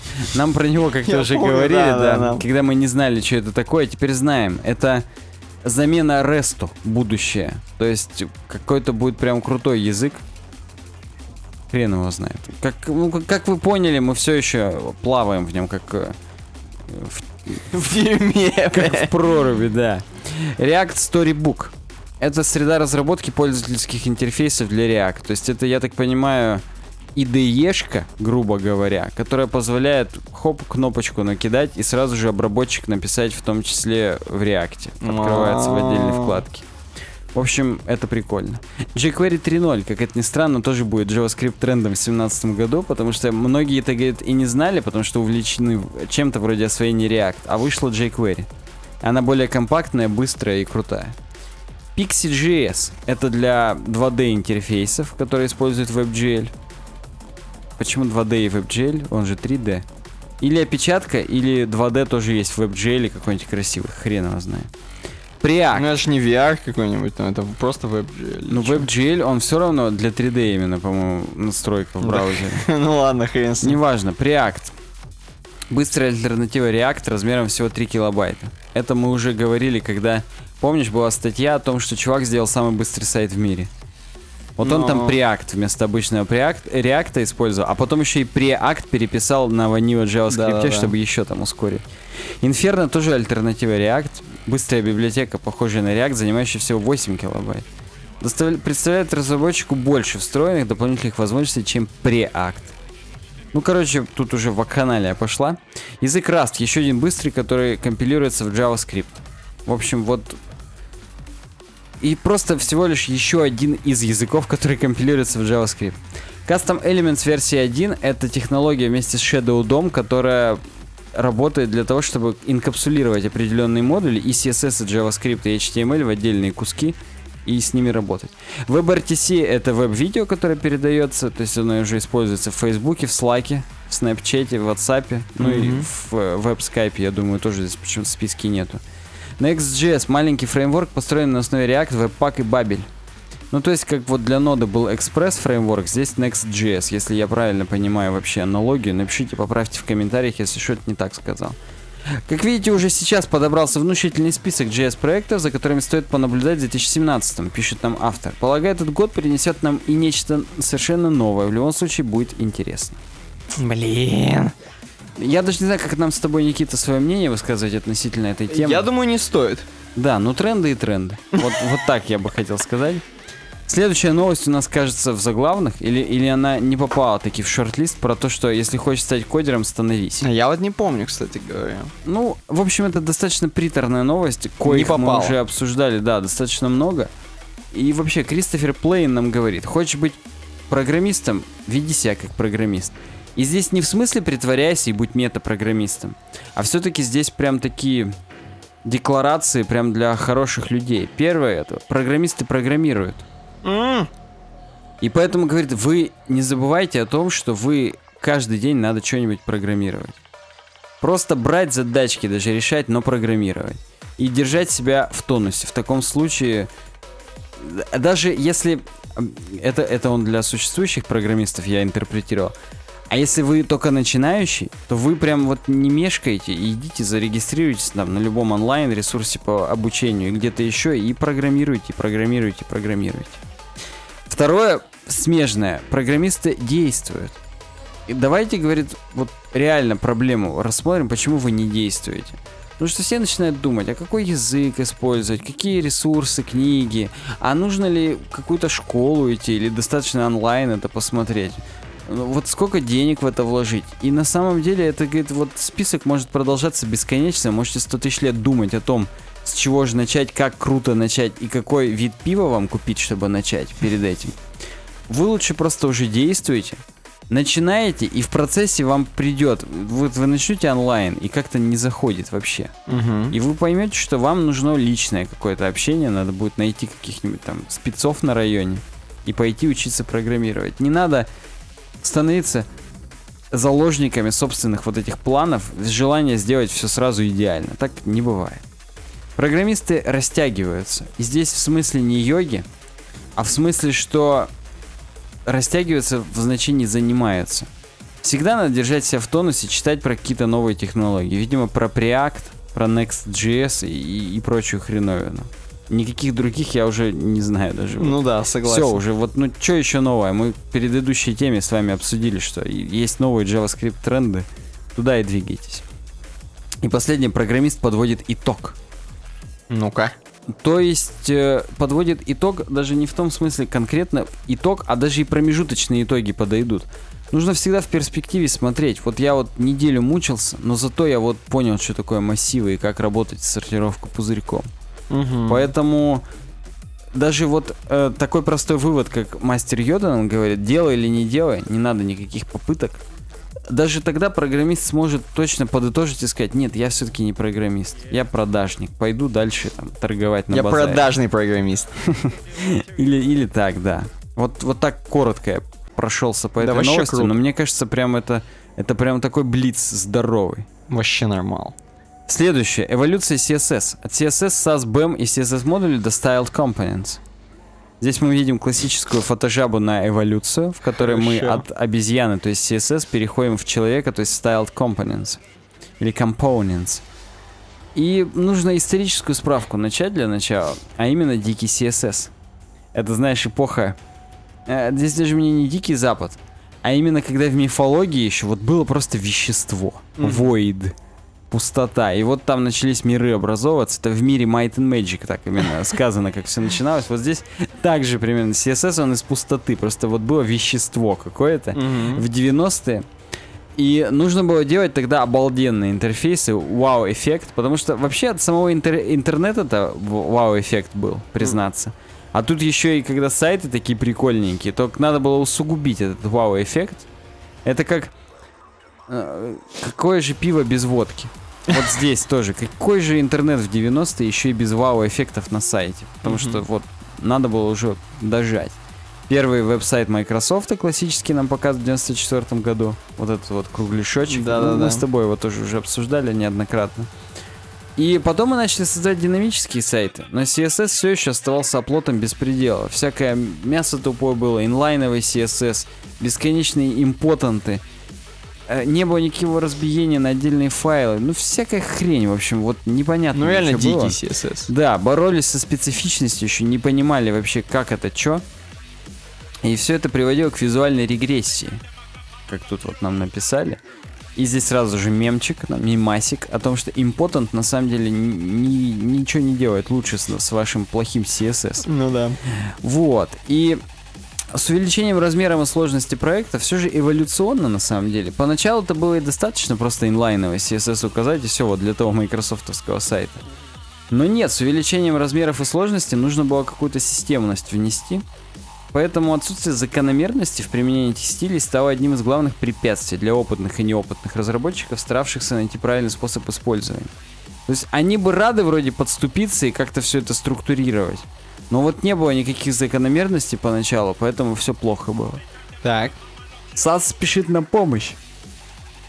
Ну-ка. Появились препроцессоры, которые, кроме всего прочего и важных функций типа вложенности переменных миксинов, расширений и логики, позволяли еще и организовать все файлы по частям. То есть с помощью директивы импорт, например, в SAS, можно более лучше, во-первых, одеться, во-вторых, более лучше подключить все файлы в один, по сравнению с директивой импорт в дефолтном CSS, который по факту просто ссылался один на один, и все все равно грузилось в результате очень долго и, и коряво. Угу. А здесь можно было все на, так сказать, уровне разраб... на стадии разработки разложить по мелким файлам, потом все сжать, выплюнуть в один файл, пусть и большой, но хотя бы он в один поток загружался бы спокойно и все. Принцип вот такой был, как я сказал. Теперь появился BEM, который кроме организации файлов еще и нам подсказал концепцию разбиения на компоненты, на блоки, элементы и модификаторы, соответственно, которые нам позволяли не думать больше над названиями классов, во-первых. Ну, там были еще BEM-утилиты всякие, которые дополнительно помогали нам собирать проекты, какие-то такие прототипы галпа. Но сейчас не о них, а сейчас именно о том, что вот нейминг CSS у нас был в тот момент лихим до бэма, а вот с бэмом как-то все структурировано стало, что вот там Sky Sun, Sky Clouds, это элементы, Угу. блоки Sky Dusk, Daytime, а нет, это модификаторы. Dusk закат, соответственно. Правильно? Ну, хрен его знает. From dawn till dusk, от рассвета до заката. Да, dusk это значит закат. Просто проверять уже. Я, да, проверочное слово, фильм Тарантино и Родригес. Так вот, если мы хотим, конечно, досконально разобраться в BEM, то надо читать статью, стопудово, здесь все перелинковочки и так далее. Но суть в том, что BEM помогает нам делать блоки реюзабельными. Ну, то есть мы делаем блок белый, условно, и мы можем его применить и к сайдбару, и к контенту, и к, хоть к чему. Мгм. То есть, ну и, и, и нейминг классов, и вообще разметка. Но есть и минусы. Разметка стала слишком семантической. Ну, то есть, большое количество классов в названиях. Ну, то есть, у одного эле- элемента, div элемента, я имею в виду, мо- могло быть там 5 классов и так далее. И все смотришь и не понимаешь, какого хрена. Поэтому появились CSS-модули. CSS-модули, чтобы вы понимали, да я думаю, вы и так уже все в курсе. Это возможность инкапсулировать это все, безобразие, в отдельные файлики. И уже мы могли делать класс header в рамках разных CSS-модулей. Контент header условный. И там header. Ну, простите за оксюморон, но внутри футера тоже может быть свой header. Внутри даже самого большого футера может быть маленький header. Я вот так скажу. И это нам позволяло использовать именно название класса header и там, и там, но не, не происходило никакого наложения, потому что это все в отдельных CSS-модулях было инкапсулировано. Есть здесь сразу нам демонстрация того, как, как это все пишется. Не буду вам показывать сейчас конкретные примеры, вы их и так знаете. Я видел большое количество уже статей есть и э, докладов на конференциях по поводу CSS-модулей. Но кроме этого появилась новая балалайка, Styled Components называется.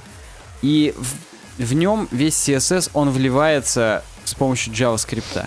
То есть мы, опять же, он сделал, сразу опережу всех, сделано только для React. Поэтому, кого не интересует, можете отваливаться. Для проекта. Для Preact, возможно, прокатит. Я не знаю, как там у них совместимость, но надеюсь, что можно что-то сварганить. И, короче, в JavaScript весь CSS подгружается только там, где надо, только там, как надо. И мы можем внутри JavaScript вот эти вот CSS-ные кусочки тоже объединять, как, как следствие в модуле, но просто на уровне JavaScript их раскидывать. То есть э, CSS-модули это вроде как нативно было, но и есть. В некоторых браузерах даже и нет. Вот, но все еще. А здесь в, пре- в rea- блядь, какой? Господи. Styled Components, в них внутри JavaScript все находится и инкапсулировано уже внутри там вот JavaScript там модуля. Не хочу сказать неправильное слово. Здесь опять же большое количество примеров именно реактовых, я их пропускаю и просто говорю о том, что все эволюционирует, поэтому кстати, на Mail.ru группе это все. Усманов сам, возможно, писал нам. Он, да, у него есть время. И какой бы технологии вы ни использовали, SAS, BEM, CSS модуль или Styled Components, не существует заменитель для хорошо продуманной архитектуры стилей, позволяющей разработчикам интуитивно развивать кодовую базу без долгих и мучительных обдумываний. Короче говоря, если за пультом обезьяна, то ты ему хоть Styled Components дай, он ее так забыдлит, Мгм. что компоненты не будут ре- ре- реиспользуемыми, реюзабельными, и нахрен бы они такие не сдались. Дальше идем. Э, Три новые возможности CSS, которые стоит изучить в 2017. Обзор Ире Адеринокун. Понял, да? Но вообще мы про нее часто говорим, не про саму Ире, а про ее блог Bits of Code. bitsofcode.de Вот такой домен. Я часто на сайте выкладываю на ее Она немка? Хрен его знает, вряд ли. Она негритоска, чтоб ты понимал. Там Ну, в хотя, н- конечно, коуд, типа просто коуд. Конечно, и это и ты мог купить всё. такой домен, а в конце будет ее а, ток. Ну, мне понравилось, что она просто негритянка. Негритоска, я сказал, даже Негритоска. еще хуже. Это нормально. Она может и немка, конечно, но не гритоска. Первое это... Короче, есть три новые CSS фичи увлекательные, о которых мы так или иначе с Никитой уже говорили тысячу раз. Но как бы вот, вот 10 января она это написала, и вот нам надо как-то в наш подкаст этот впихнуть. Я сейчас так сказал, как вот, знаешь, мне соседка сказала, что вот, слушай, можно вот эту Слушай, вот вот негритоску. впихнуть?» Да. Ну, пожалуйста, ну, вот тебе же ничего не стоит. А я тебе там зашью потом что-нибудь, заштопаю. На самом деле у меня нет таких соседей, которые могут что-то заштопать, но ладно. Первое это э, feature queries. Возможность с помощью... Ну, это не медиа запросов. Директива add supports, короче говоря, позволяет Мгм. проверить, если браузер поддерживает display flex, то применить такое-то, а если нет, применить обратное. Проблема в том, что саму директиву supports тоже не все браузеры поддерживают, поэтому надеяться только на нее как бы сложно. Поэтому на нее надейся, а сам, сам, сань, а сань не плашай. Ага. Здесь, кстати, она нам ире э, встраивает can I use. Видишь, CSS feature queries. И я-то знаю, что этот I use она же и написала, потому что я Ни выкладывал с Bits of Code, что она написала свой embedded can I use. Ага. И он реально крутой. Он легкий и не стыдно его подключить к себе на страницу, короче, вот ей в том числе. Grid Layout. То, о чем я уже говорил, когда делал обзор на Сьюзи. Хотя, может, тогда еще и не говорил, но сейчас говорю. Будущее вообще всего в сеток в интернете в данный момент на веб-страницах, может быть, после грида какое-то еще будет. Ближайшее будущее, так скажем, округло.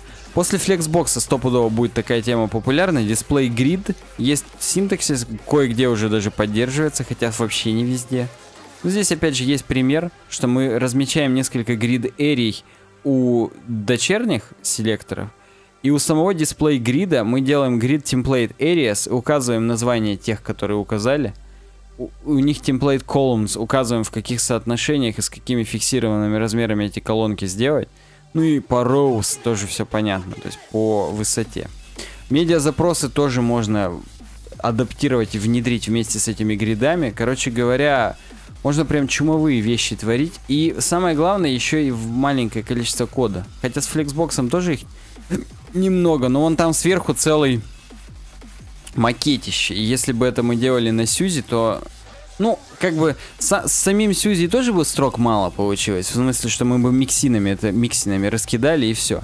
Но если сам еще сурс Сьюзи взять, то получи, получится до хрена. А здесь и получается всего 31 строка, еще с учетом вот медиа запросов.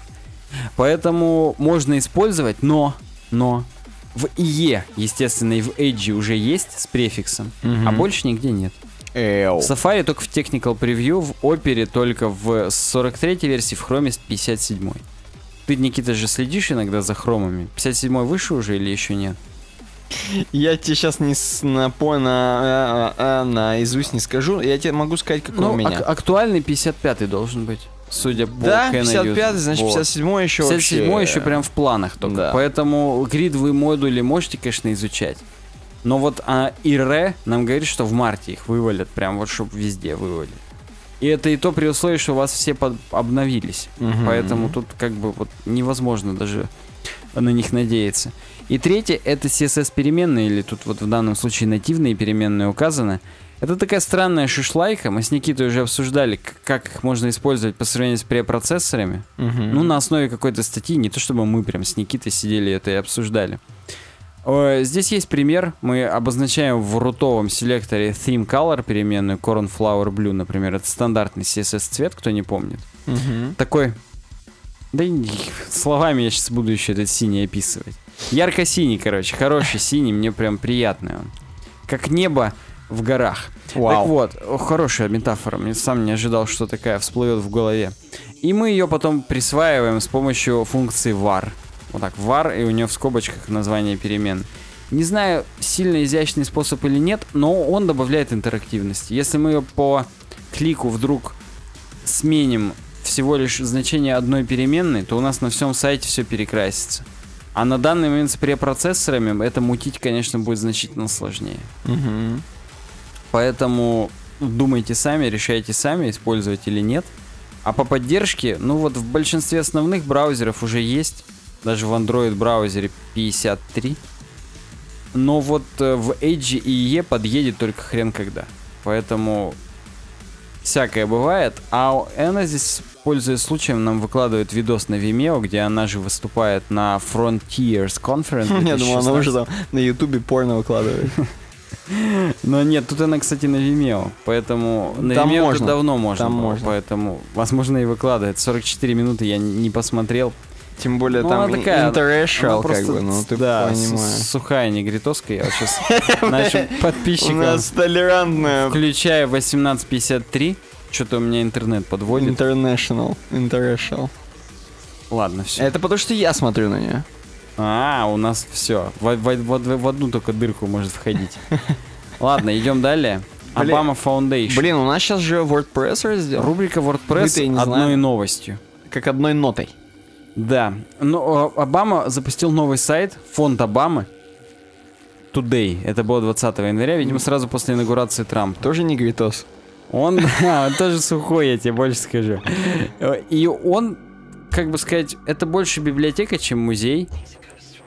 Что нахрен? Это в смысле у, у него где, простите? Ну, На сайте, кроме этого, он говорит, что у него будет будущий центр какой-то в Чикаго. Как Ельцин-центр у нас, видимо, только Обама-центр. А, И окей. это, говорит, будет не библиотека, а прям или музей, а прям вот рабочий центр для гра- граждан. Или для получения гражданства. Короче говоря, он по своим темам, там, видимо, для иммигрантов, для всего этого. Так. Трамп-то ему прикроет, видимо. Но мы-то это почему здесь обсуждаем? Потому что у него сайт на WordPress. Причем на одном из последних, потому что уже по REST API к нему можно дергать его Доступаться. за опиху. Да. То есть ты имеешь... То есть ты имеешь в виду не на этом, не на Дурпале? Да, не на Drupal, как большинство правительственных сайтов, а вот на WordPress. 4.7 версия, как минимум, у него. Ну, потому что там этот, э, этот REST API вышел. 4.7.1, кстати, уже есть э, security релиз. Угу. Фронтенд у него на Zerp Foundation. Прям вот наш. Есть плагин jQuery Cycle для карусельки. И студия Blue State Digital создала сайт. И на самом деле здесь констатация такого факта, что президент Обама первый президент, который выбрал WordPress как э, как систему для хостинга, не для хостинга, для реализации сайта президентского центра. Вот так. Может быть, у них традиция, в принципе, мы с тобой вот не в курсе, а Ага. каждый уходящий президент делает президентский центр какой-то. Может быть. И поэтому Ельцин-центр просто у нас слезали, так сказать, с Америки, опять же. Я вот не вникал ни разу вот во всю истерию с этим Ельцин-центром. Напишите в комментариях. Просто это. Посремся. Ну, Там э, в тему к посремся, там писаются в комментариях э, вот именно к этой статье пацаны кипятком, что, блин, круть-круть Обама на ВП. Ну, естественно, потому что это ВП Таверн. Ну, вообще Джефф, вот, например, который, ну, ты понимаешь, да, какой Джефф? Мгм. Или это не он? Это просто Джеффри какой-то. Какой-то Джеффри, короче говоря, говорит, я вот не уверен, что Обама прям вот сам такой прозорливый и сделал выбор в пользу WordPress.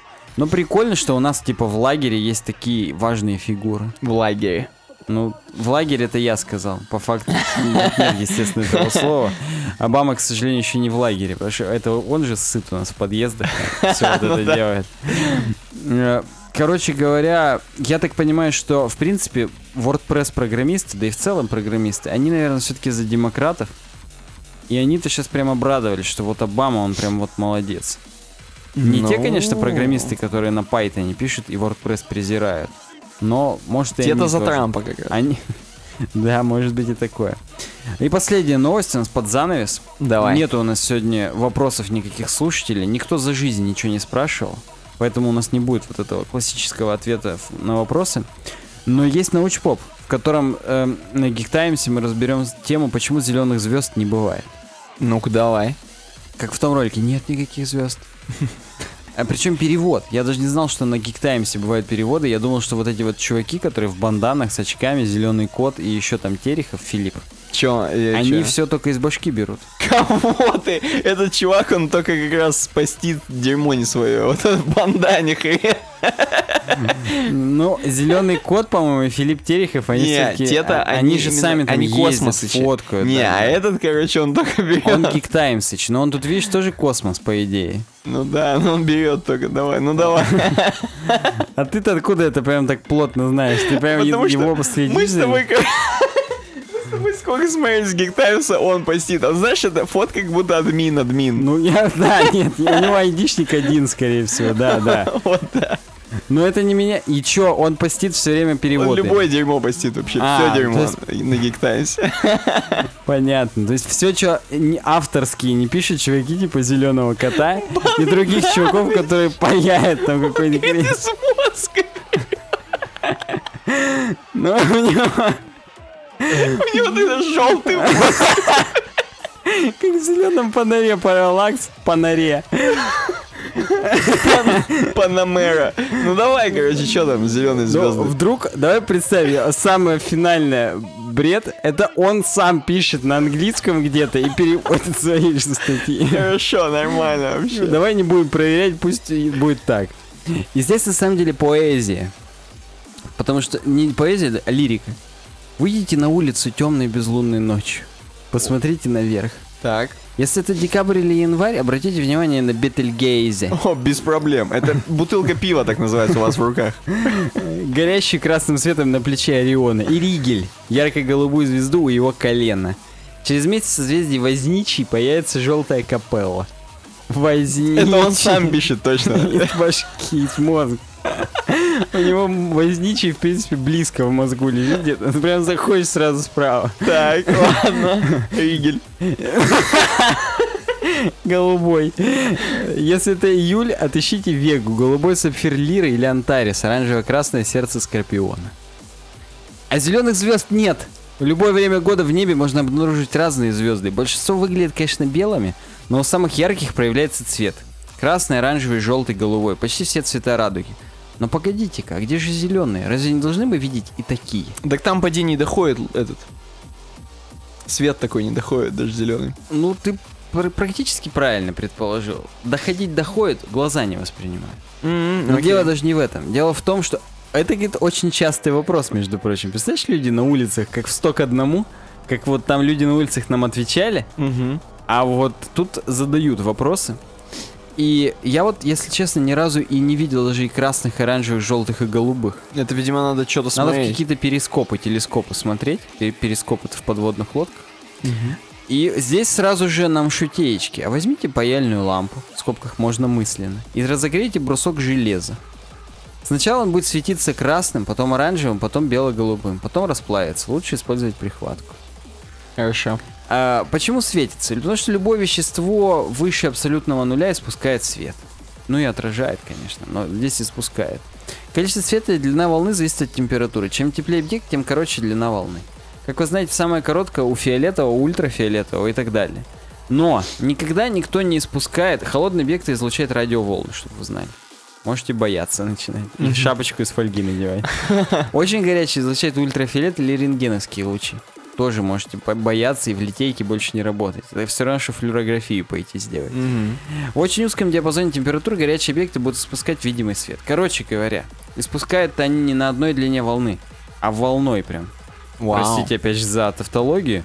Но волна просто вот, ну, на графике здесь видно, такая, такая парабола, но неправильная парабола. Один хвостик у нее такой обычный, а второй прям длинный. У тебя-то длинный хвостик, тебя парабола. Такие неожиданные вопросы. Как-то я, да. Э, Они вот в этот ку- куполком испускают свет, и никакой куполок не в сумме не даст зеленый. Я вот Дерьмо. подытожу прям, прям сразу. Потому что Почему средний куполок даст? он даст много зеленого, но синий и красный, которые вокруг него, они его так уравновесят, что он желтый будет. Блин, ну ладно. То есть, ну, здесь есть много выкладок, что у объекта температура 4,5 тысяч кельвинов, пик находится то-то-то. Ну, в общем, те люди, которые цветовую температуру, как фотографы, задают вручную в кельвинах, я вот пробовал, кстати, неплохо работает на самом деле. Они-то знают это все. Кстати, даже в вебке в нашей новой, там можно в кельвинах задавать баланс белого. Ни хрена себе. Да, вообще круто. И он здесь, хм, секундочку, если у Солнца пик находится в зелено-голубой области, почему оно не выглядит зелено-голубым? Это ключевой вопрос. Дело в том, что хотя пик приходится на зелено-голубую область, оно испускает свет и других цветов. Ну, короче говоря, у нас есть палочки и колбочки. Мы с тобой любим про них почему-то вспоминать. Помнишь, часто Ну да. говорим. Так вот, палочки это датчики яркости, они не различают цвета, только яркость. А колбочки видят цвета, видят три вида. Красный, синий и зеленый. Угу. Когда на них падает цвет, каждая возбуждается по-разному. Красный возбуждает красные колбочки, синий, зеленый остается к нему равнодушным. Соответственно, синий, синий, зеленый, зеленый. И большинство объектов не излучает, не отражает единственный цвет, поэтому колбочки возбуждаются все сразу, но в, ра- в разной степени. И апельсин возбуждает красный в два раза сильнее зеленых, оставляет синий вообще в покое, поэтому апельсин типа оранжевый. Угу. И когда мозг получает сигнал сразу от трех видов колбочек, вот нет такого такой суммы, которая зеленый вообще по- будет показывать нам. Причем самое тупое, что трава-то зеленая. То есть мы, в Ну принципе, да. мы способны видеть зеленый. Но именно вот в э, комбинации с тем, что рисунок звезды это куполок вот этот, Угу. параболка. Вот такой па- параболки именно такой не бывает. Поэтому написано, единственный способ для звезды выглядеть зеленой, это излучать только зеленый свет. Зеленый only, как трава и цветы. И knives only. Да, но из графика выше видно, что невозможно, куполок. Поэтому любая звезда, испускающая зеленый, будет испускать также и довольно много красного и голубого, что сделает ее белой. М. Прикинь, если все остальные звезды зеленые. На самом деле, да, все, что мы видим белым, они зеленые на самом деле, они ржут. Не видят, что мы зеленые. Там зеленые Там зеленые человечки, потому что ходят. Да, газета «Аномалии», Эрнст Молдаш. Поэтому зеленых звезд не бывает. Излучаемые звездами цвета и то, как наши глаза их интерпретируют, это гарантирует. Но меня это не беспокоит. говорит что он в бандане. автор. Да. Если вы посмотрите в телескоп и увидите сияющую Вегу или румяный Антарис, или темно-оранжевый Арктур, вас это тоже не будет сильно волновать. Звезды бывают не всех цветов, но их достаточно. Благодаря этому они удивительно прекрасны. Просто суперский финал. Я знал, что такое будет. Здесь у меня телеграм сразу открыт. Я сделаю марки, чтобы вырезать его. Но самое главное, что мы смотрим сейчас обойку. Да? Ты смотришь тоже? Я смотрю на нее и вижу здесь м, такую как бы башню-маяк, Так. Которая, скорее всего, и будет являться нашим подкастом. Он Только- путеводный в мире веб-разработки. Только он какой-то это. Как будто его уже не используют. Согласен, немножечко стимпанковый. Угу. Но, слушай, это потому, что у нас концепция, формат давно не менялся. Я считаю, даже и не стоит его менять, как бы. Потому что, смотри, он все равно такой бетонный, Ты имеешь в виду, монолитный. он, он уже как достопримечательность. Люди, А, кстати, смотри, классно. люди даже уже не то что плавают под него, а приходят посмотреть на него, как на достопримечательность. Причем еще больше, возможно, приходит посмотреть. Это как, знаешь, постоянно, когда про янтарную комнату какие-нибудь новые слухи всплывут, сразу хоп в Калининград толпа туристов. Мгм. Особенно любят поляки. Какие-нибудь сказать, что янтарная комната, на самом деле, ее копали там под Варшавой. Потом, когда приезжаешь, тебе говорят, вроде копальную не нашли, но Мгм. уже ты приехал, уже в Польшу хлынул тоже поток туристов. Вот наш подкаст это туристический объект уже скоро будет. Согласен. Мы как бы вот не в курсе, что такое Vue.js. Как бы вот нельзя под нас плавать в мире JavaScript. Но вот как, э, Как достопримечательность мы все еще, скорее всего, там это, можно под нас плыть чуть-чуть. Да.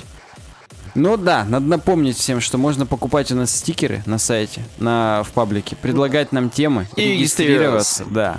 Кроме этого, обязательно подписываться на нас во всех соцсетях, ВКонтакте, в Твиттере, в Фейсбуке, в Инстаграме, в Гугл+. Ставить нам везде лайки, особенно на Ютубе ставьте нам пальцы На iTunes еще ставьте звездочки плес. пишите отзывы, да. И я напомню, что мы представляем друг друга как предстательная железа. Поэтому Да. не думайте, что я это Никита Тарасов. Нет, я представляю Никиту и говорю, что с вами был он, Никита Тарасов. И Александр Гончаров. Всем удачного дня, недели. Увидимся. Пока. Пока. На YouTube появился... Давай заново еще раз. Просто мне нравится, на YouTube появился контент. В YouTube. Давай. хорошо, На YouTube это пиздец, блядь, на Украине, в Украине, блядь.